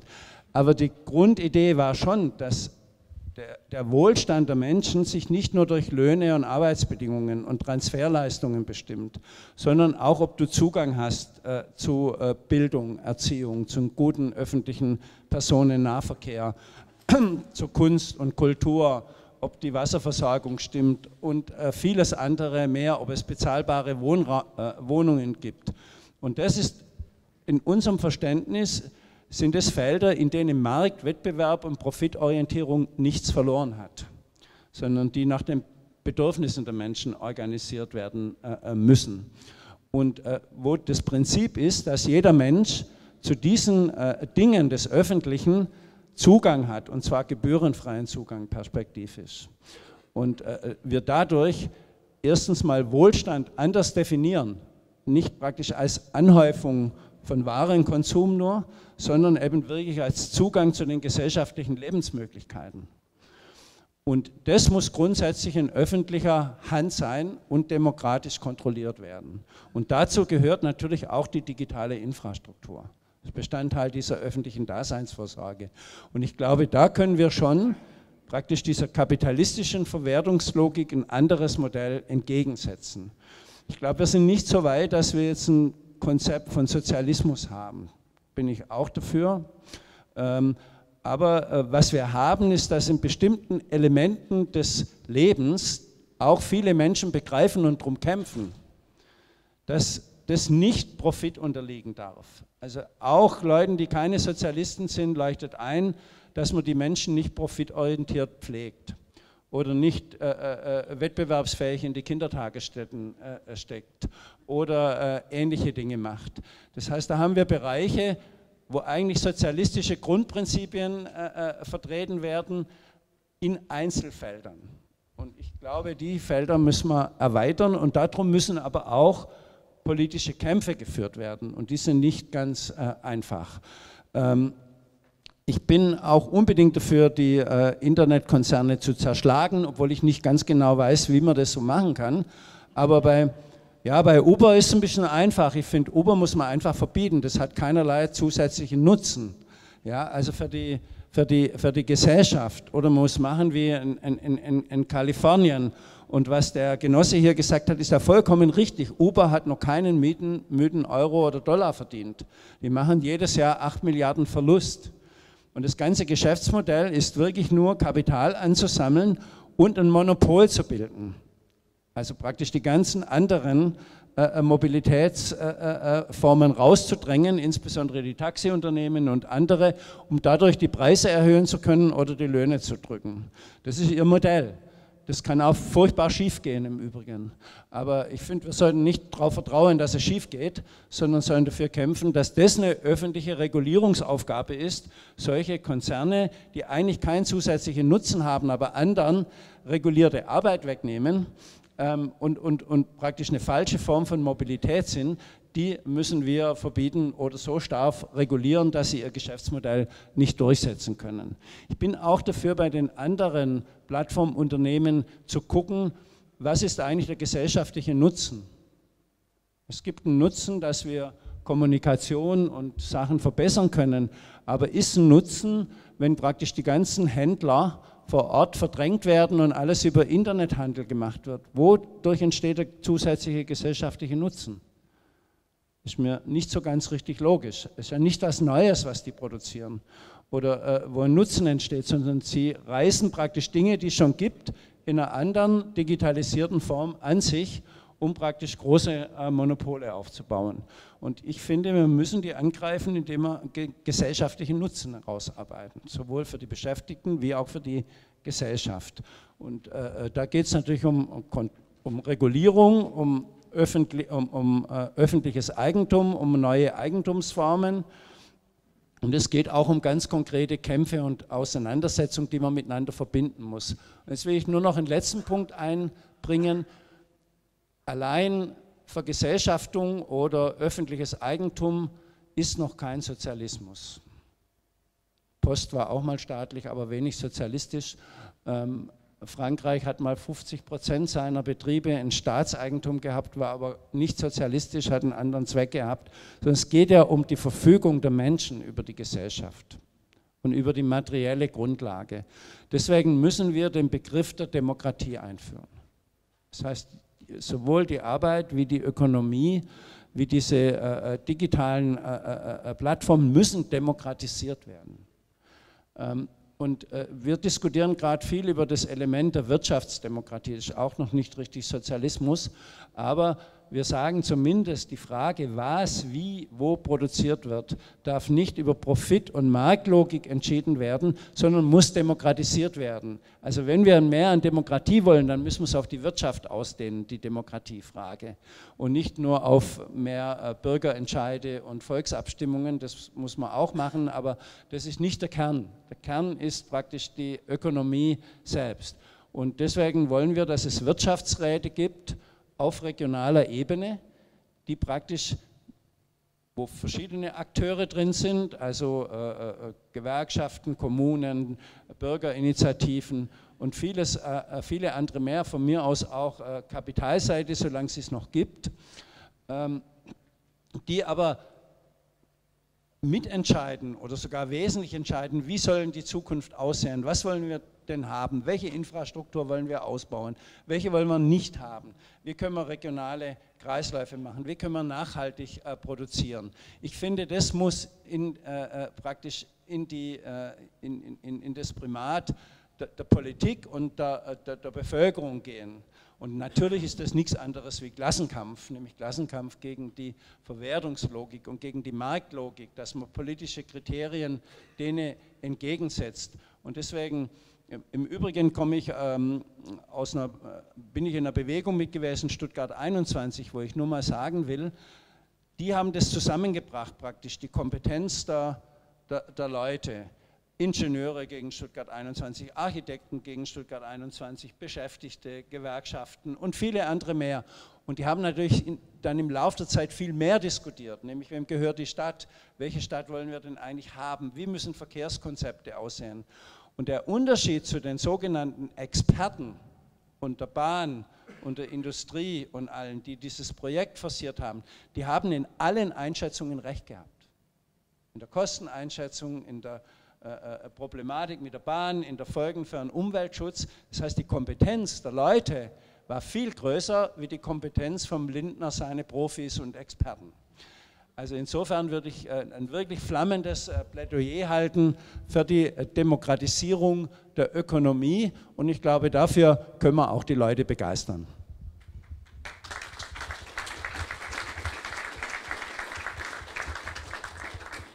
Ja, vielen Dank, Bernd. Auch Punktlandung. Ich bin ja, habe ja gar nichts zu tun hier vorne. Ähm, es ist tatsächlich jetzt ein bisschen schwierig, ähm, die Frage zu formulieren, die mir jetzt ähm, auf dem Herzen liegt. Ich habe ja gesagt, ich möchte ganz kurz noch ein, zwei Fragen ans Podium stellen. Ich würde auch gerne, wenn es jetzt technisch noch ähm, machbar ist und möglich ist, die Evgenie noch dazu holen. Seid ihr dabei, ne? Also im Grunde genommen könnte man jetzt mit der Veranstaltung aufhören. Man könnte sagen, alle Vorschläge sind gemacht. Wir wissen Bescheid, jetzt gehen wir raus und setzen die um. Also was brauchen wir jetzt noch groß diskutieren? Ähm, die Frage ist, gehen jetzt tatsächlich, das war jetzt nicht so gemeint, ja. Das war jetzt vielleicht taktisch unklug. Aber ihr seht schon, offensichtlich waren die Vorschläge sehr überzeugend. Ähm, ich habe aber trotzdem noch einen, einen kleinen, ähm, wie soll ich jetzt sagen, wir haben, glaube ich, das Problem, dass wir diese Vorschläge da liegen haben und die ich jetzt persönlich auch alle in die richtige Richtung gehen fand. Wir haben aber natürlich das Problem erstens der Umsetzung und zweitens der Vermittlung. Und das mit der Umsetzung fängt schon an mit, die Diskussion haben wir gerade in Berlin mit der Vergesellschaftung, woher, also es muss ja dann doch Entschädigung gezahlt werden, das will ich mir gar nicht vorstellen. Das ist ja auch tatsächlich noch nie geschehen, seit es die Verfassung gibt, dass dieser Vergesellschaftungsparagraf in irgendeiner Form in die Praxis umgesetzt wurde oder angewendet wurde. Das ist also gar nicht alles so einfach, wie man sich das vorstellt. Auch die Vorschläge von Nina würden ja ein bisschen darauf hinauslaufen, dass man Geld braucht, um diese alternativen Strukturen zu fördern und zu finanzieren. Und ihr wisst alle, dass die Ideologie der schwarzen Null des ausgeglichenen Staatshaushalts mehr als äh, bei der Macht angesiedelt ist, sondern auch in unser oder aller Köpfe ähm, sehr verankert ist dieser Vergleich, als wäre ein Staatshaushalt das gleiche wie, ich sage jetzt mal, die schwäbische Hausfrau. Das ist sehr tief verankert und ähm, es gibt ja auch einen hohen Prozentsatz, war jetzt eine Umfrage, die dafür sind, dass dann doch die GroKo noch weitergeht. Es gibt also ein hohes Vermittlungsproblem, dafür einzutreten, dass man Vergesellschaftung macht. Ihr kennt es von der Berliner Debatte, es wird sofort entgegnet der Gulag. Also das so weit geht dann quasi schon die. Es ist ein extrem äh, großes Problem. Und Jewgeni, du verstehst ja Deutsch, habe ich gehört, oder wird da jetzt übersetzt? Wird übersetzt, okay. Äh, bei Jewgeni fand ich ganz interessant, das habe ich auch gelesen bei dir, dass du sagst, das lässt sich hier alles sowieso gar nicht mehr im nationalen Rahmen klären und man muss auf die internationale Ebene. Du hast jetzt gesagt, die europäische Ebene. Da frage ich mich, finde ich total richtig, da frage ich mich aber ein bisschen, welche politische Kraft, ich sage jetzt mal Europäisches Parlament, hat nicht in seinem europäischen Wahlprogramm drinstehen Wettbewerbsfähigkeit. Die Sozialdemokratie macht natürlich in ihrem Europawahlprogramm, schreibt sie Sozialstandards und Umweltstandards und was weiß ich, Steuereinnahmen muss man erhöhen, die Konzerne besteuern. Aber das Projekt ist Wettbewerbsfähigkeit. Das ist so durchgesetzt, dass Europa wettbewerbsfähig sein muss. Und ich frage mich, das ist auch wieder dieser Punkt der Vermittlung. Wie kann man im öffentlichen Diskurs diese tief verankerten in den letzten 30 Jahren durch die ganze neoliberale Ideologie in uns ein, ähm, ihr versteht schon, was ich meine, es sitzt einfach total fest. Und wie kann man dieses, dieses ähm, Problem der Wettbewerbsfähigkeit, die ja nichts anderes ist wie die Konkurrenz zwischen den großen Blöcken, USA, Europa, China, wie kann man das auf dieser Ebene, wer könnte das machen, ähm, versuchen anzugehen? Das würde ich, glaube ich, weiß, es ist eine Herkulesfrage, aber ich würde es trotzdem gerne nochmal jetzt an Jewgeni zurückgeben.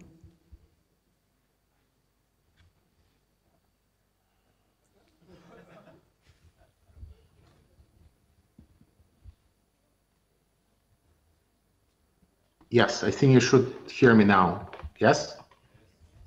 Yeah, yeah. Okay. Um, well, first of all, let me say one comment that uh, came to my mind as I was listening to the remarks by, by other panelists. I think we should not underestimate still the ideological power of this big tech uh, block, if you will. I still think that despite all the scandals, despite uh, the problems related to um, uh, the problems related to uh, Cambridge Analytica and you know election manipulation, these companies still have managed to build a very nice legitimization narrative for themselves. And uh, the reason why that legitimization narrative is possible is because we do not have access to the actual data that can explain to us the real impact of the operations or who they actually affect. So when Airbnb or Uber say that they are here to protect the most vulnerable members of society because they give them jobs, so they allow them to essentially drive or to rent their houses. I mean, we really have to verify that claim empirically, right? And the problem is that they are sitting on the data that will allow us to answer that question. But I think uh, we have to be able to come up with counter narratives, and this is where a lot of intellectual work would be involved.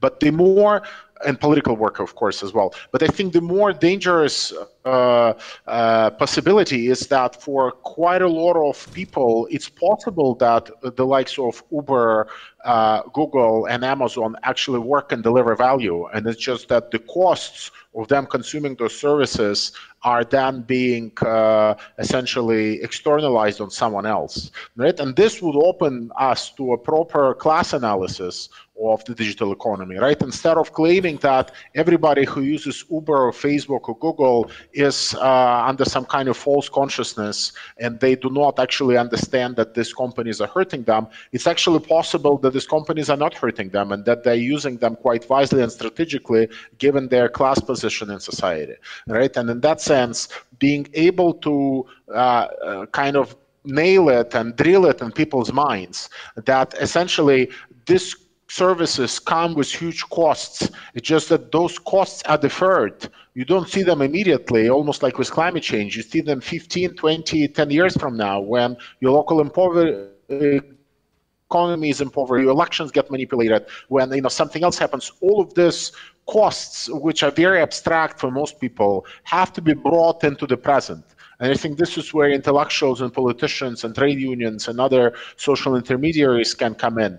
To give a very brief response to your other question about uh, competitiveness and the way in which uh, this can be tackled internationally, well, I think, uh, I mean, the, the, the, reality is that uh, it's true in some sense that uh, in as much as the global economy operates on principles of capitalism, competition, competitiveness, and profitability will remain the criteria by which uh, countries have to engage in international competition. Uh, but I think, again, there is absolutely no reason to believe that uh, the current model, which relies on uh, you know a lot of wastefulness, uh, is superior to uh, models that treat, for example, artificial intelligence as a public good. I'll give you one example, and then I'll pass on the microphone. If you look at artificial intelligence, as I've said, most of the firms, big 10 firms now in technology, are spending possibly 8 to 10 billion euros on artificial intelligence every year they're creating the same set of features, right? They're training their algorithms and uh, tools to recognize, you know, a picture of a chair from a picture of a table or a picture of a traffic light from a picture of a car, right? All of them need those very functions because this is how competition works. The firm that doesn't have them gets kicked out.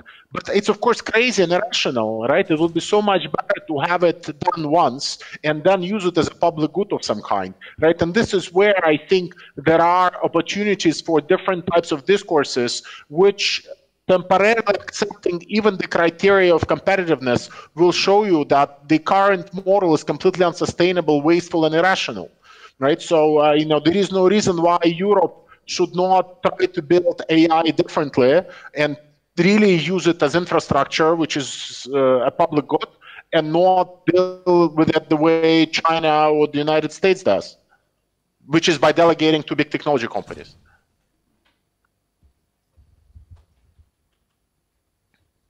Okay, alles klar, danke. Wollt, will einer von euch beiden gleich darauf reagieren? Entschuldigung.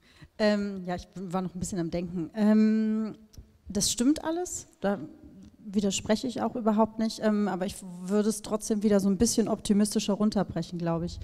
Ähm, tatsächlich ähm, erlebe ich es total viel in ganz unterschiedlichen Zusammenhängen, dass ich äh, Menschen treffe, die sagen, ja, das ist alles überhaupt gar nicht so gut, was diese Unternehmen machen und ich wäre eigentlich auch gerne nicht auf Facebook und ich würde eigentlich auch gerne nicht Google benutzen und nicht bei Amazon bestellen und ich will eigentlich auch nicht irgendwie meine Wohnung bei Airbnb vermieten, aber dann kann ich mir eigentlich keinen Urlaub leisten oder so. Aber was ist denn sonst? So und ich glaube, das ist tatsächlich äh, einer der Punkte, bei denen man ansetzen muss, ähm, tatsächlich logische Schritte irgendwie aufzuzeigen. Das ist das eine, wie man halt irgendwie an diese Unternehmen rankommt. Und zu dieser Frage der Wettbewerbsfähigkeit. Ähm, ich glaube, dass diese Frage der Wettbewerbsfähigkeit irgendwie ein Stück weit irrational ist. Und ich glaube, das ist auch wichtig, das immer wieder aufzuschlüsseln, ähm, dass ähm, das eigentlich gar nichts bringt, um diese Unternehmen zu konkurrieren. Weil was ist denn, wenn der Amazon Tower hier in Berlin gebaut wird? Ähm, wird das Leben für uns alle dann besser? Haben wir dann alle unglaublich tolle Jobs bei Amazon? Das wissen ja mittlerweile alle, dass es da einfach keine geilen Jobs gibt und dass da irgendwelche hochbezahlten Programmierer wahrscheinlich reinkommen. Also es ist, glaube ich, auch schon gesagt, ne, dass es da wahrscheinlich um künstliche Intelligenz gibt und dass man wahrscheinlich eher irgendwie um internationale Arbeiterinnen und Arbeiter buhlt. Also warum sollten die hierher kommen, wenn außerdem irgendwie so dann noch die Mieten in die Höhe gehen so und auch einfach dieser Tower so wahnsinnig hässlich aussieht. Ähm, also und das ist halt irgendwie so, man sagt immer, man muss so wettbewerbsfähig bleiben, man konkurriert mit anderen Städten und überhaupt. Aber das Ding ist halt, worum konkurriert man denn? Haben wir da am Ende mehr Geld? Haben wir bessere Jobs? Haben wir ein besseres Leben? Müssen wir weiter Angst um unsere... Also ich habe zum Beispiel, ne, kenne nur Leute, die Angst haben, die sich mit ihren Vermietern nicht mehr anlegen, weil sie Angst haben, dass sie auch aus der Wohnung fliegen. Dafür müssen wir irgendwie Alternativen entwickeln. Und ich glaube tatsächlich, ähm, das ist halt immer noch, also ich also ne, es ist einfach irrational, darum irgendwie konkurrieren zu wollen. Aber natürlich braucht es auch Alternativen. Und ich glaube, es ist auch immer wichtig zu sagen, so diese Unternehmen sind einfach asozial. Also es ist halt einfach irgendwie so, die ähm, investieren Millionen und Milliarden in ein Budget, um zu verstecken, wie asozial sie einfach sind und um was wir da halt tatsächlich konkurrieren. So. Und ähm, ich weiß, das ist keine Lösung, wie man da aussteigen kann, aber ich glaube, es ist auch immer wieder wichtig zu zeigen, was die uns kosten. Also ich ich finde immer das beste Beispiel, das ist ja wahrscheinlich hier heute auch x-mal gefallen, ist irgendwie Apple, die es tatsächlich schaffen, sich einfach an so einem Pool von Erfindungen der Universitäten zu bedienen und kein Geld dafür bezahlen, also staatliche Finanzierung. Und am Ende steht ein Geniekult irgendwie so, keiner hat irgendwie so tolle Forschung wie Apple. Nee, und dann ist es an den Universitäten gemacht worden. So. Wir haben jetzt gerade gehört irgendwie von Softbank, ne? das ist da, die haben Geld investiert in ein Unternehmen, das auch hier in Berlin tätig ist, WeWork, die einfach nur diese Coworking Spaces monopolisieren wollten. So. Die haben auch keine schwarzen Zahlen geschrieben, die sind oberasozial. So. Was ist passiert irgendwie? So? Die haben Pleite gemacht, die haben sich verspekuliert, die haben sich verspielt. So. Die Tausenden von Arbeiterinnen, die sie international haben, stehen von heute auf morgen auf der Straße und dieser Chef, der sich wie als Guru aufgespielt hat, der ähm, ist halt einfach irgendwie kriegt eine Milliarden- oder Millionenabfindung. So. Und ich glaube, das ist auch in diesem, diesem Spiel, wir müssen irgendwie uns um diese Unternehmen irgendwie so, so wichtig, denen immer wieder irgendwie zu zeigen, man geht denen auf den Leim und immer wieder zu entschlüsseln, wie diese Unternehmen tatsächlich funktionieren, nämlich für die meisten von uns überhaupt nicht.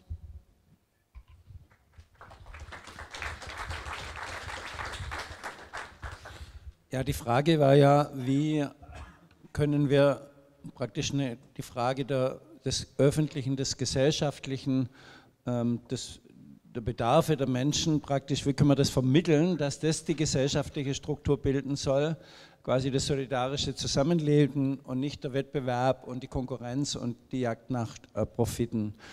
Ich glaube, das ist eine linke Daueraufgabe. Also ähm, man kann da wahrscheinlich gar nicht kurzfristig das lösen. Aber ich will mal nur sagen, ich war, als es bei unserem Wahlprogramm um die Wohnungsfrage ging, ähm, war ich ein bisschen ein Weichei. Also habe gesagt, naja, wir schreiben in das Programm lieber nicht rein enteignen, sondern wir schreiben rein Überführung der Immobilienkonzerte in öffentliche Hand. Das ist zwar genau das Gleiche, äh, aber für einen Schwaben hört sich das besser an irgendwie, also für die äh, äh, Leute dort. Aber ich hätte zum Beispiel nicht gedacht, in welch kurzer Zeit die Forderung Deutsche Wohnen enteignen, quasi der Mieterinnenbewegung so einen Schwung gibt und von einer Mehrheit der Berliner und Berlinerinnen vielleicht sogar in der ganzen Bundesrepublik für richtig gefunden wird. Das heißt, man kann auch jetzige, den jetzigen Auseinandersetzungsstand nicht einfach auf die Zukunft projizieren, sondern es kann schon Sprünge geben und Brüche, wo die Leute sagen, na stimmt, beim Wohnen, da ist die Not so groß, da haben einfach Spekulieren und Profit und sowas nichts verloren. Und ich glaube, dass wir schaffen müssen, in mehr solchen Feldern solche Elemente einzubringen. Also dass wir sagen, okay, wo gibt es Elemente, wo eben der gesellschaftliche Bedarf wichtiger ist wie Profitinteresse von Unternehmen oder ihnen gar gegenüberstehen.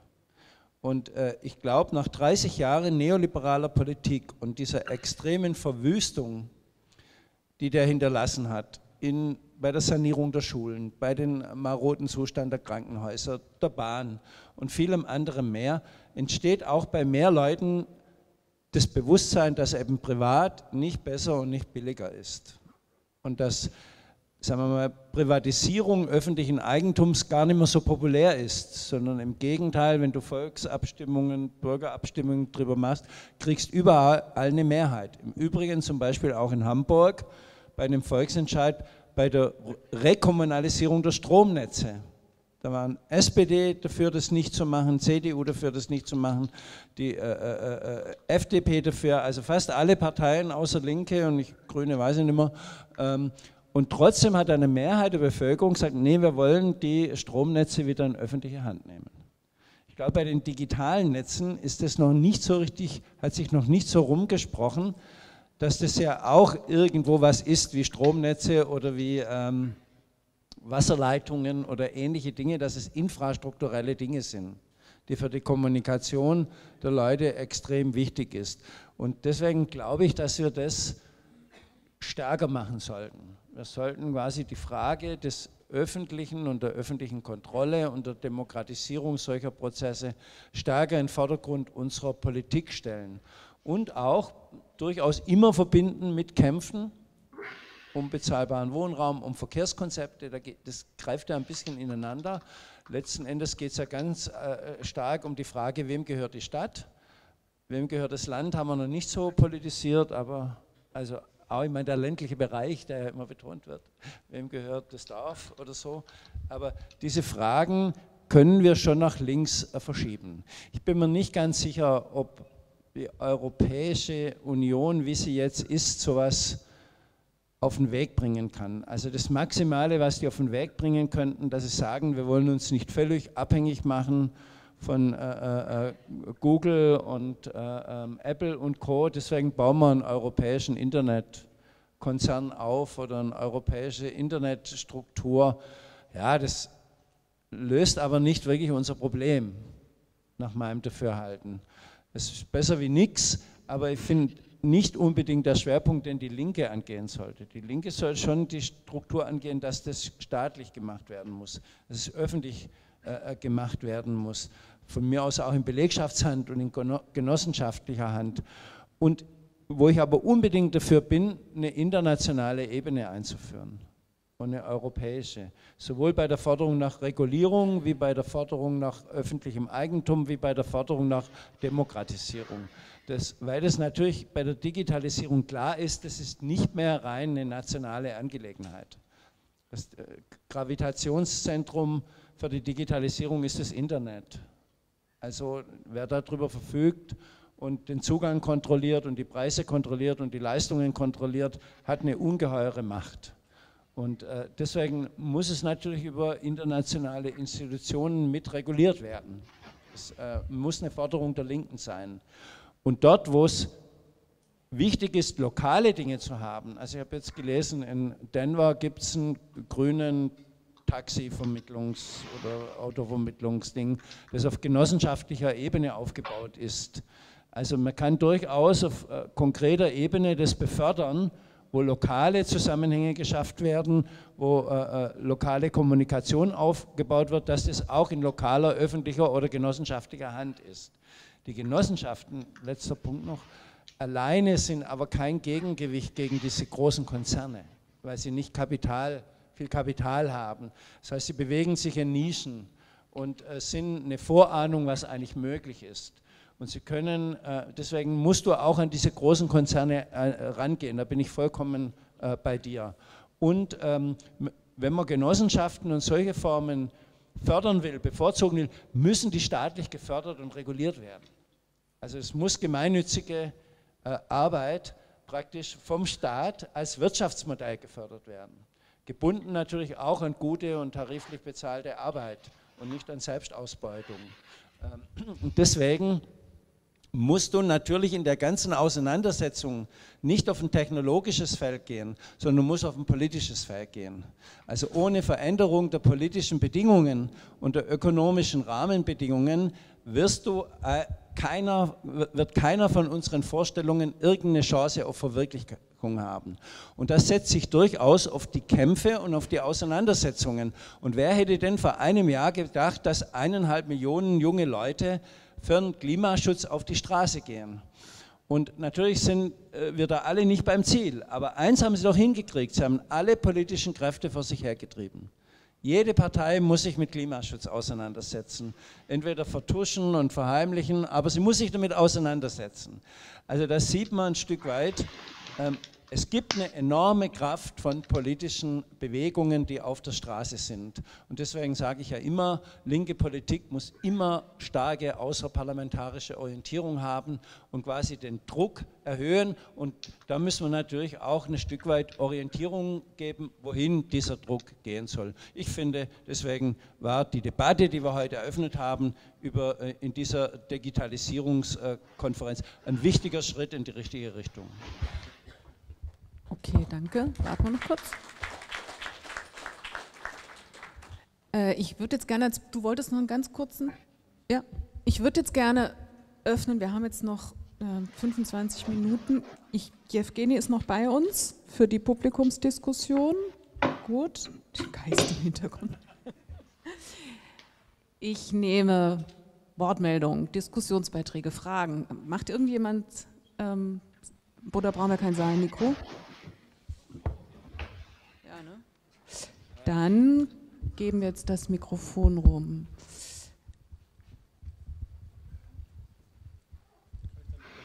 Können doch mal bitte alle die Arme heben, die was sagen wollten?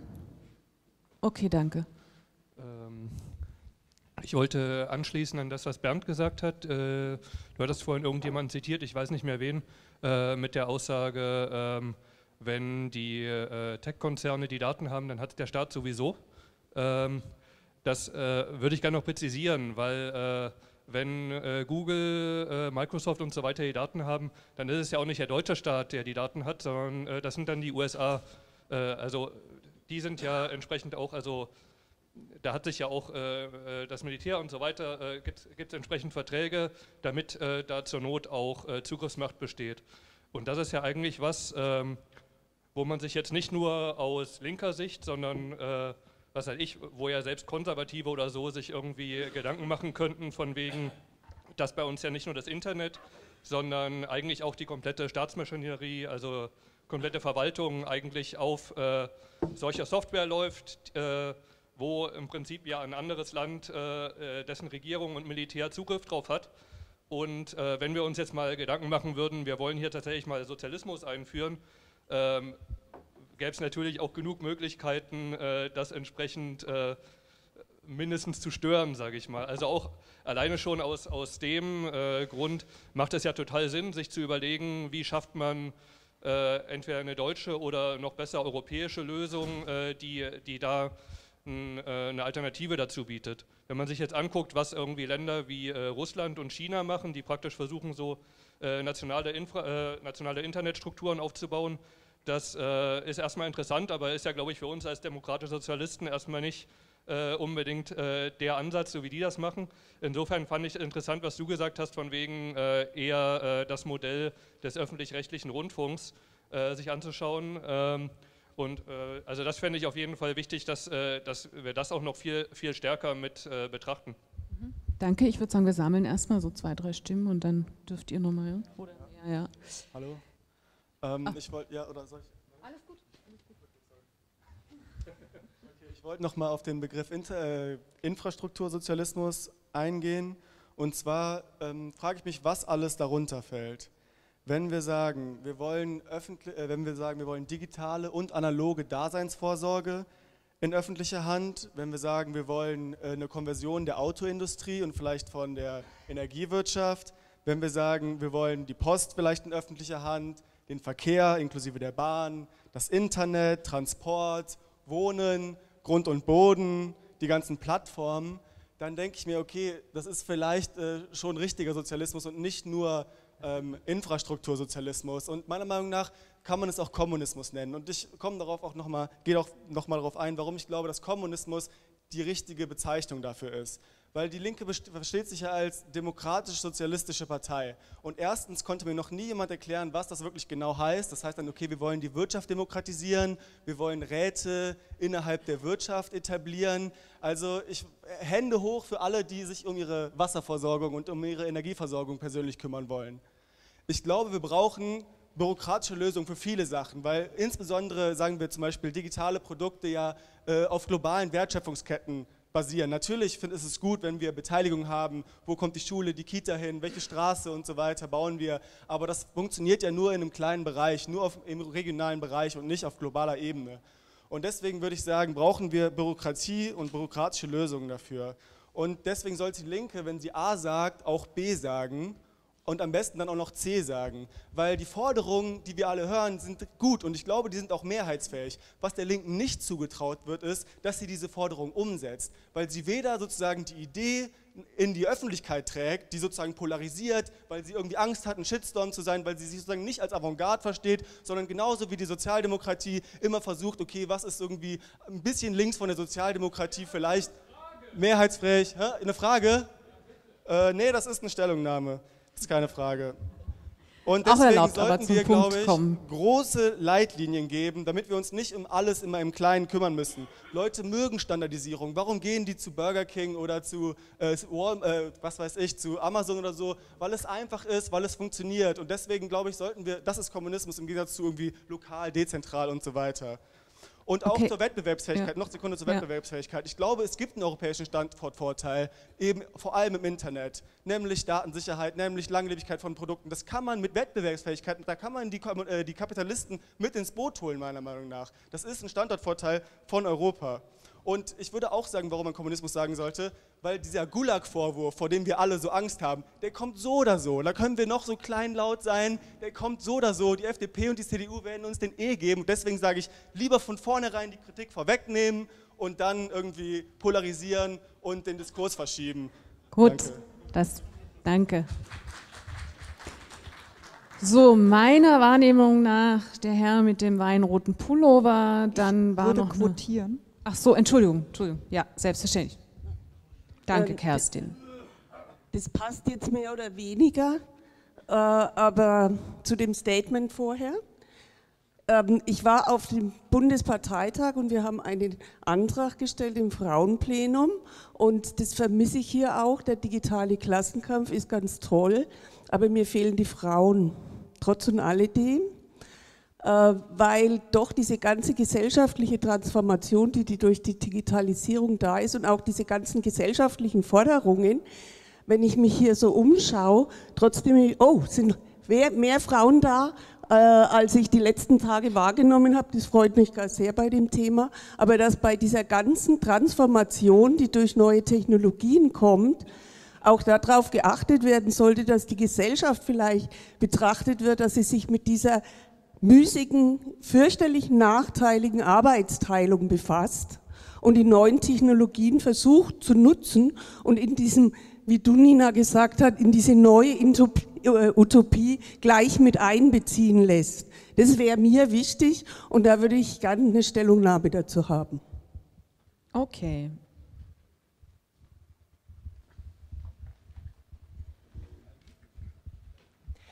ich war jetzt auch ein kleines bisschen unzufrieden mit äh, der Diskussion. Einerseits ganz viel Krise, der Kapitalismus kannibalisiert sich selbst und äh, verschärft die Ausbeutung und so. Dann ganz viel Dampf, äh, ganz viel Kritik an dem, was, was Amazon macht und was Google macht und was Facebook macht. Und dann so, die, da fehlte so ein bisschen so dieser, dieser Korken, ne? was ist jetzt so die, die Lösung? Und ich das, glaube, der, das Buzzword ist nicht äh, Kommunismus, wie du gesagt hast, Sozialismus. Ich glaube, was das Problem eigentlich ist, ähm, dass uns, wenn wir das alles machen, mit öffentlich-rechtlich und so weiter, das gesagt wird, das ist ja Planwirtschaft. Ich glaube, der Knackpunkt ist, wie sieht eigentlich Planwirtschaft im 21. Jahrhundert aus? Und dem soll man sich stellen. Es ist nämlich eine ideologische Konstruktion zu sagen, Kapitalismus ist Demokratie, Marktwirtschaft ist Demokratie und Planwirtschaft ist Diktatur. Planwirtschaft ist äh, irgendwie, das ist glaube ich auch so ein Ding, was in unserem Kopf drinsteckt. Und äh, ich kann mal ähm, ganz kurz äh, schildern, was ich in einem, im ländlichen Raum in Baden erlebt habe. Äh, da haben wir diskutiert über ähm, Klimaschutz als soziale Zumutung, Fragezeichen. Da haben, wir so, haben sich Leute aufgeregt, ähm, dass die, äh, beziehungsweise ein junger Genosse hat sich eigentlich aufgeregt und hat gesagt, die Grünen, die haben sich hingestellt und das war alles total äh, kapitalistisch und das war alles irgendwie liberal und, ich, und, und das, diese sozialen Zumutungen, die äh, das, das beziehen, wird einfach nur teurer und wir brauchen eigentlich soziale Lösungen auch für diese äh, ökologischen Fragen. Und äh, dann hat einer gemeint, ja, das ist aber Planwirtschaft, du bist du Planwirtschaft. Und wir haben die ganze Zeit über Planwirtschaft geredet, tatsächlich im, im, im ländlichen Raum in Baden. Und äh, es war völlig normal, über Planwirtschaft zu reden, weil äh, da wurde auch gesagt, ja, das ist eigentlich eine, eine, eine Ideologie zu sagen, Planwirtschaft ist Diktatur. Und ähm, das, da müsste man auch mal gucken, was heißt das eigentlich im 21. Jahrhundert. Das, glaube ich, muss sich auch die Linke stellen. Danke. Anne?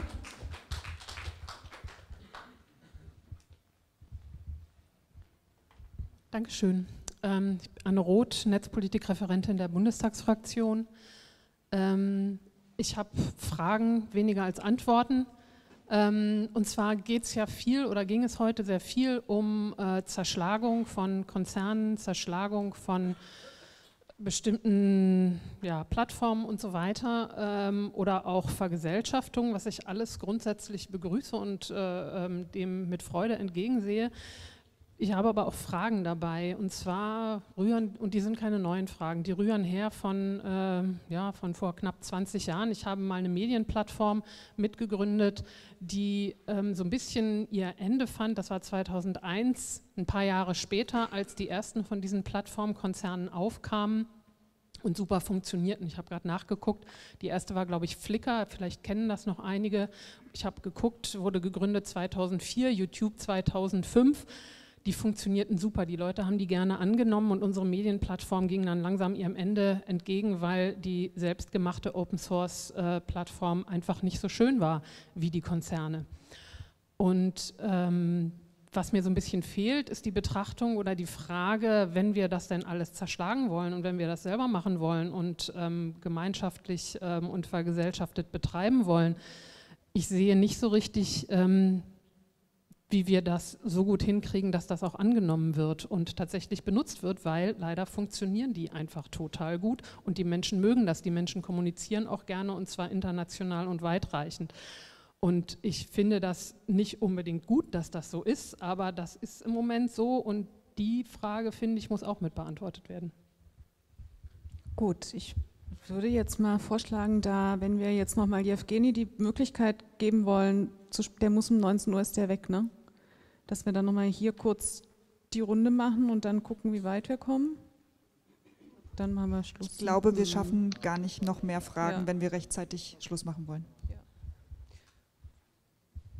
Yes, am I on? Ja.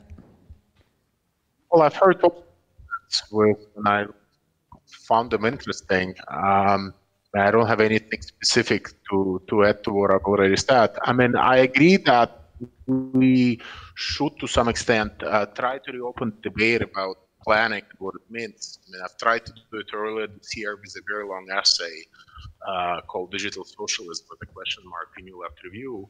I think ultimately um, uh, that is the sort of vision that most people miss when we talk about the future of socialism, right? I mean, there is um, this uh, kind of ghost of central planner, which a lot of people react quite negatively to. And I think that we should not waste the opportunity that we have now. And I think current moment is very important because things can go very bad if we don't act. I think maybe at most we have five years or so until the likes of Amazon and Google, together with big funds like SoftBank, establish uh, quite firm control over uh, platforms and infrastructures and uh, completely dominate uh, the field of artificial intelligence, which we have not talked about enough, I think, uh, today. So, you know, we have at maximum five years, and this is why, uh, as much as I would like to talk about more theoretical approaches to kind of theorize the class struggle uh, or whatnot, I think we have a very specific and narrow task, and it's to do everything in our power to prevent and block this ultimate takeover of uh, essentially possibilities of constructing an alternative society because I'm convinced that in the times of climate change, uh, that construction will need to rely on uh, digital infrastructures simply because possibly if we do it right, it will be much more efficient and ecologically environmentally friendly. But the second point, and this is where we have a little bit of good news, I think the fact that all of us have had some experiences in the digital realm also opens up quite a lot of exciting uh, imaginary opportunities of how society can be completely restructured how you know and you already see some of those early signs even in uh, how these firms work. So i don't think we should completely reject them and say that it's all crap. I mean, if you look at something like anticipatory shipping, which is this feature of Amazon where they try to predict what products you might be needing uh, two weeks or six weeks from now, of course, we can dismiss it as complete consumerism and say that we should get rid of this. But you can also have a very different political reading of this and say that, well, with technologies like this, a more efficient distribution of goods and services uh, through some kind of a centralized state would actually be possible right? And it all depends on how we would like to frame those things. But I think the presence of some of these emancipatory uh, signals. Uh, right, which are clearly, uh, you know, on top of the signals, there is 99% of crap and precarity and uh, financialization. But there are those signals, and I think we have to find them and we have to package them properly and to attach them to a proper theory of social transformation. And then, you know, we will be able to speak uh, not just the old language with some new buzzwords thrown in, but the properly new language of uh, change and uh, uh, society that's fully digital, right? And so I do think that a lot of the concepts we have traditionally used, they don't need to be rejected, but they need to be complicated and kind of uh, substantiated with the fact that you know the new possibilities that we have do allow for new types of planning, including uh, planning that will be much more decentralized, where you'll have a much more participatory say from the bottom up of people and groups participating in society. We don't need to limit ourselves uh, by the toolkit of you know 1920s or 1960s of the last century.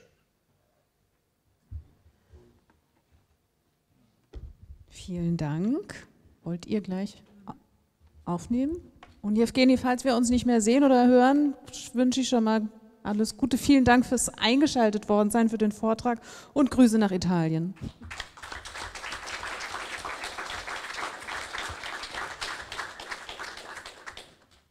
Ja, genau, ich schließe da direkt an. Es gibt auch wieder keinen Widerspruch in der Hinsicht. Also ich glaube, das, was du gesagt hast, also ich glaube, das sind wichtige Fragen und ich habe das am Ende so ein bisschen, weil ich eben nur so angerissen habe, mit den Visionen auch gemeint und was wollen wir mit diesen Unternehmen machen. Also ich glaube zum Beispiel, also das meinte ich zum Beispiel, die ganz realpolitische, aber trotzdem visionäre Frage, was wollen wir behalten und was nicht? Also wollen wir Amazon behalten, weil das tatsächlich äh, eine logistische Infrastruktur, eine internationale ist, die man auch für eine internationale Planwirtschaft gebrauchen kann. Also das ist ja tatsächlich mittlerweile überhaupt gar kein Hirngespinst mehr, ne? eine algorithmisierte Planwirtschaft. Und ich finde tatsächlich, man muss sich über solche Dinge auch unterhalten. Und ähm, ich glaube auch, dass es halt solche Dinge sind, ich glaube, glaube, das ist so, ich glaube, du hast es vorhin gesagt, ähm, vor zwei, drei Jahren hätte sich niemand vorstellen können, dass 40.000 Leute auf einer Demo hinter einem enteignen Transpier, auf einer Mietendemo hinterherlaufen. Und also ich bin ähm, von Anfang an aktiv bei Deutsche Wohnen enteignen und kämpfe seit drei, vier Jahren gegen die Deutsche Wohnen, weil ich da auch Mieterin war und ähm, als wir das allererste Mal den Mieterinnen, die da im total aussichtslosen Kampf gegen die Deutsche Wohnen gekämpft haben, gesagt haben, hier, wir wollen einen Volksentscheid machen, Deutsche Wohnen enteignen, sind die ausgeflippt und haben gesagt, spinnt ihr oder was so? Ich stelle mich doch nicht in meine Fußgang Fußgängerzone in Reinickendorf und sage zu meinem Nachbarn, Entschuldigung, wollen Sie für Enteignung unterschreiben? Das ist Sozialismus, das will ich nicht. Und dann sind wir aber in den Kämpfen drin geblieben. Wir haben den Leuten gesagt, so, das sind Unternehmen, die sind an der Börse, die sind profitorientiert und egal wie oft ihr kämpft und auch wenn ihr vielleicht mal gewinnt, die müssen ihren Profit erwirtschaften. Ihr seid denen ausgeliefert. Wir haben keine andere Möglichkeit. Und jetzt stehen die in ihren Fußgängerzonen und sammeln Unterschriften für Enteignung. So. Und ich glaube tatsächlich, das ist ein Weg, ähm, den müssen wir auch einfach gehen. Und ich genau, und ich glaube, das Beispiel, was du gemacht hast, das steht ne, erstmal nicht drin und man muss da nicht so zahm sein. Man kann da schon diese Begriffe nehmen. Und Enteignung haben wir schon auch genommen weil es eben auch so polarisiert und weil es ein ganz klares Bekenntnis zu irgendwas ist. Ähm, ich glaube, da muss eine Linke auf jeden Fall noch viel, viel mutiger werden. Aber das bedeutet auch, dass man eben in den Kämpfen drin sein muss, mit den Menschen so und ihnen auch tatsächlich darin Perspektiven gemeinsam mit ihnen erkämpfen muss. So. Ähm, Genauso das mit der Bürokratisierung, da will ich jetzt nur ganz kurz was zu sagen. So, ähm, ich glaube, dass es ein Erfolg der neoliberal, neoliberalen Ideologie ist, uns irgendwie zu erklären, dass Bürokratie grundsätzlich irgendwas Schlechtes ist. Genauso wie das mit den universalen Arbeiterrechten, was ich eben gesagt habe. Also das ist tatsächlich ähm, nicht unbedingt was Negatives, aber es kann schon auch negativ sein. Ich glaube, das muss man sich nochmal genau angucken. Äh, zu der Frage äh, Frauen, Männer, irgendwie digitaler Kapitalismus, digitale Kämpfe. Äh, natürlich hat dieser digitale Kapitalismus eine komplette komplett sexistische und rassistische Komponente. Ne? Also das ist er einfach, er ist sexistisch und rassistisch. Und ich finde zum Beispiel in den Google-Kämpfen, die tatsächlich gerade passieren, sieht man das zum Beispiel sehr genau. Also es gibt hochbezahlte Programmierer, die Zugang zur Krankenversicherung haben, die hohe Gehälter haben, die mit dem Google-Bus zur Arbeit gefahren werden im Silicon Valley, die umsonst Buffet haben, die im Bällebad programmieren. Und man hat auf der anderen Seite migrantische und vor allem weibliche Servicearbeiterinnen, die dazu gar keinen Zugang haben und auch wirklich prekäre Arbeitsplätze. Aber tatsächlich passiert da gerade total viel. Und natürlich ähm, ist das eben auch ein Teil von diesen Kämpfen, sich genau mit diesen Arbeiterinnen zu solidarisieren. Und ne, also das ist ganz, ganz klar. Ähm, jetzt komme ich nur noch mal, glaube ich, zu dem letzten Punkt von dir, ähm, Anne. Genau, ähm, ja, keine Ahnung. ich glaube, das ist der Elefant im Raum, weil ich weiß das auch, weil ich ja beim öffentlich-rechtlichen arbeite und ähm, auf der einen Seite sind die Sachen natürlich schön ähm, restriktiv. Wir können ganz viele von den Programmen, die andere Unternehmen oder irgendwelche Medienunternehmen benutzen, um Daten auszulesen und so nicht benutzen und sind in einer gewissen Weise gar nicht konkurrenzfähig und alles, was wir irgendwie machen oder programmieren oder so, sieht immer ein bisschen scheiße aus und ist auch nicht ganz so gut zu benutzen. Ähm, aber ja, keine Ahnung. Ich habe dafür keine Lösung. Also es ist im Moment einfach so, aber ich glaube, das ist tatsächlich der Elefant im Raum und da müssen wir ran. Da habe ich jetzt gar keine schöne Antwort drauf.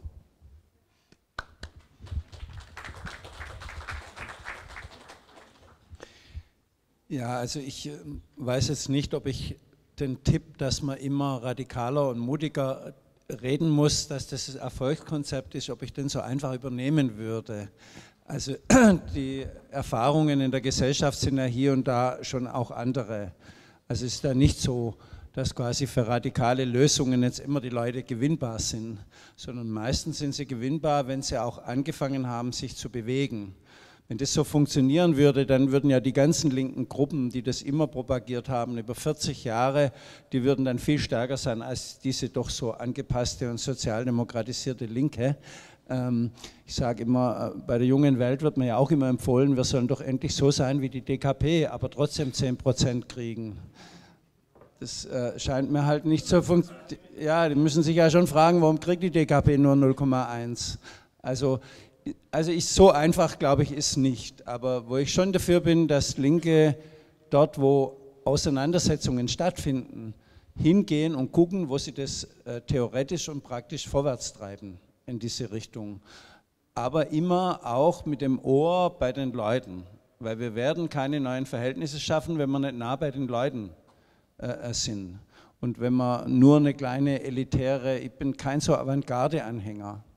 Ähm, das war vielleicht eine Notlösung mit äh, Lenin und der russischen Revolution, weil es vielleicht äh, eine Bürokratie auch gebraucht hat, weil zu wenig Leute da waren, die das äh, in der breiten Masse gemacht haben. Es war ein Ersatz, glaube ich, für demokratische Strukturen.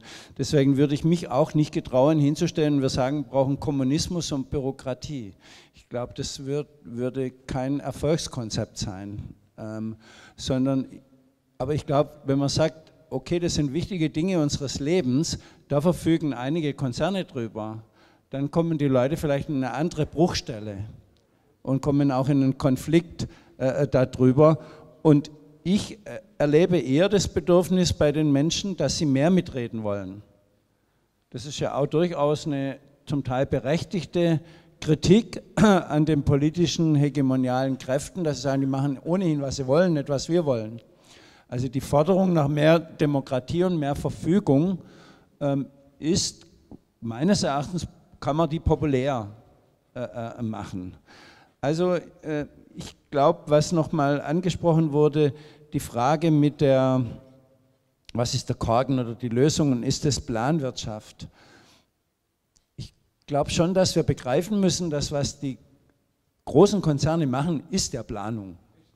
Das ist dann nicht so, dass die einfach so auf dem Markt sich anarchistisch bewegen, aber, sie, aber natürlich ist der Markt anarchistisch.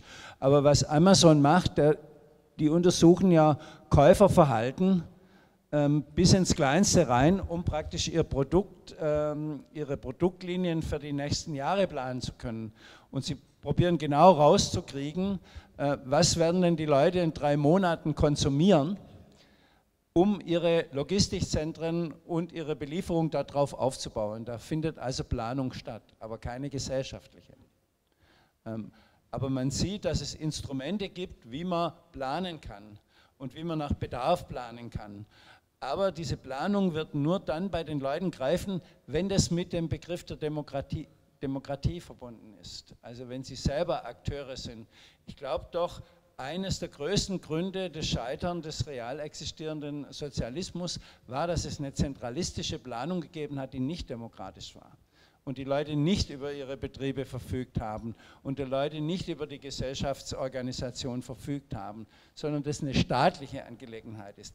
Sozialismus heißt aber nicht einfach nur Verstaatlichung, sondern heißt Aneignung der Gesellschaft durch die Menschen selber. Und äh, äh, genau diese Aneignung der Gesellschaft durch die Menschen selber, das müssen wir mit äh, Inhalten erfüllen. Und sowas entsteht natürlich auch nicht, indem man sagt, da haben wir jetzt ein zentrales Konzept, geht raus und agitiert die Leute, sondern indem dort, wo sich die Leute selber anfangen zu bewegen, solche Prozesse entstehen und wir die in, eine, in ein gesellschaftliches Gleis bringen können. Und da will ich einen letzten Gedanken einbringen. Ich habe ja ein Buch gemacht zu dem Thema verbindende Klassenpolitik. Der Hintergrund ist der, dass wir ja viel mehr wie früher, du hast ja gesagt, heute sowohl betriebliche Kämpfe haben, wir haben Mieterbewegungen, wir haben eine große Klimaschutzbewegung, wir haben Bewegungen gegen Rassismus und gegen Rechts. Dahinter stecken eigentlich immer Klassenauseinandersetzungen und äh, äh, Kampf um unterschiedliche Interessen. Und ich glaube, die Leistung der Linken müsste sein und der linken Kräfte, diese Kämpfe und die Leute selber miteinander zu verbinden. Das heißt, dass wir wissen, nicht gegeneinander stellen, auch nicht Milieus gegeneinander stellen, sondern sagen, okay, eigentlich kämpfen die Klimaschützer und die Leute gegen die Diskriminierung der, äh, der Frauen, ja, oder gegen Rassismus oder die, die Leute, die sagen, wir kämpfen äh, äh, dafür, dass die Stadt uns gehört. Das sind Kämpfe, die in die gleiche Richtung gehen. Und unsere Leistung müsste vielleicht sein, diese Kämpfe in ein gesellschaftliches Projekt zusammenzubringen. Das war ein bisschen die Idee von Sanders und auch Corbyn mit dem äh, Green New Deal. Das weiß ich, mir gefällt der Deal-Begriff auch nicht, weil so get getan wird, wie man irgendwie was ähm, ausdealen könnte und es nicht Resultat von Kämpfen ist. Aber man muss mal gucken, vielleicht als Arbeitsbegriff, sozialistischer Green New Deal oder linker.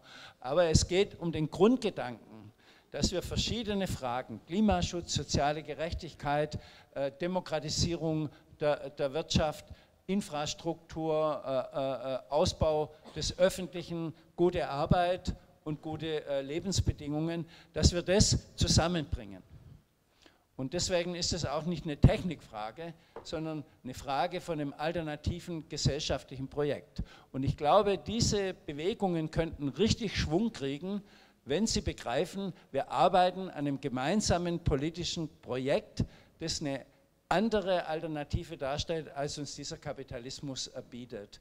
Das muss natürlich breit angelegt sein und kann nicht eng angelegt sein. Aber wenn wir das schaffen, dann könnten wir tatsächlich einen neuen Drive in die äh, politische und gesellschaftliche Auseinandersetzung reinkriegen und könnten, wie Marx gesagt hat, die Verhältnisse stärker zum Tanzen bringen.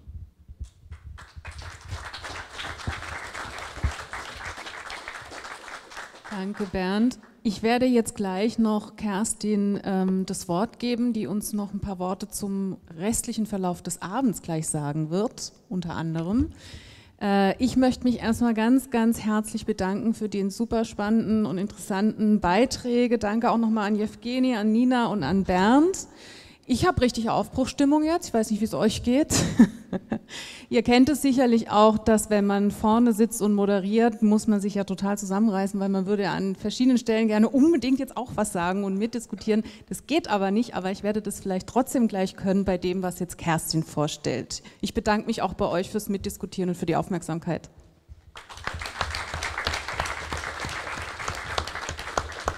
So viele Worte wollte ich jetzt eigentlich auch gar nicht mehr an euch richten. Ich wollte ähm, mich auch nochmal bei allen bedanken, die heute hier referiert haben, die mitdiskutiert haben, mitgedacht haben. Danke an euch hier vorne, danke an Evgeni in Italien, sofern er noch da ist.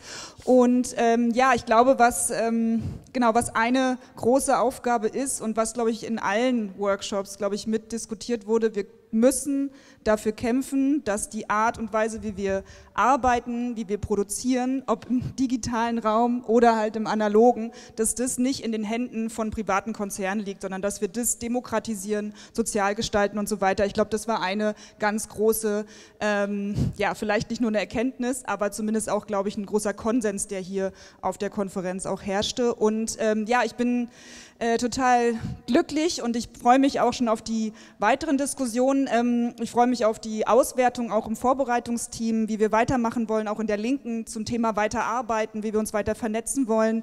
Ähm, auf jeden Fall ein guter Ort ist die Bundesarbeitsgemeinschaft Netzpolitik, die ähm, genau da hinten ja die ganze Zeit auch einen Stand hatte. Und ähm, genau, wenn ihr Feedback habt, ähm, Rückmeldungen für die Konferenz, schreibt, also alle, die sich angemeldet haben, haben ja meine E-Mail-Adresse, also schreibt mir gerne nochmal, ansonsten auch gerne an die äh, zentrale linke Adresse zur Konferenz. Und ähm, wir ähm, genau, wir können jetzt alle nochmal ähm, zusammenkommen unten in der Bar, die es gibt. Ähm, also wer noch Lust hat, sich zu unterhalten, ein bisschen zusammenzukommen, kann das gerne machen. Ansonsten wünsche ich euch allen einen schönen Samstagabend und ein schönes Restwochenende.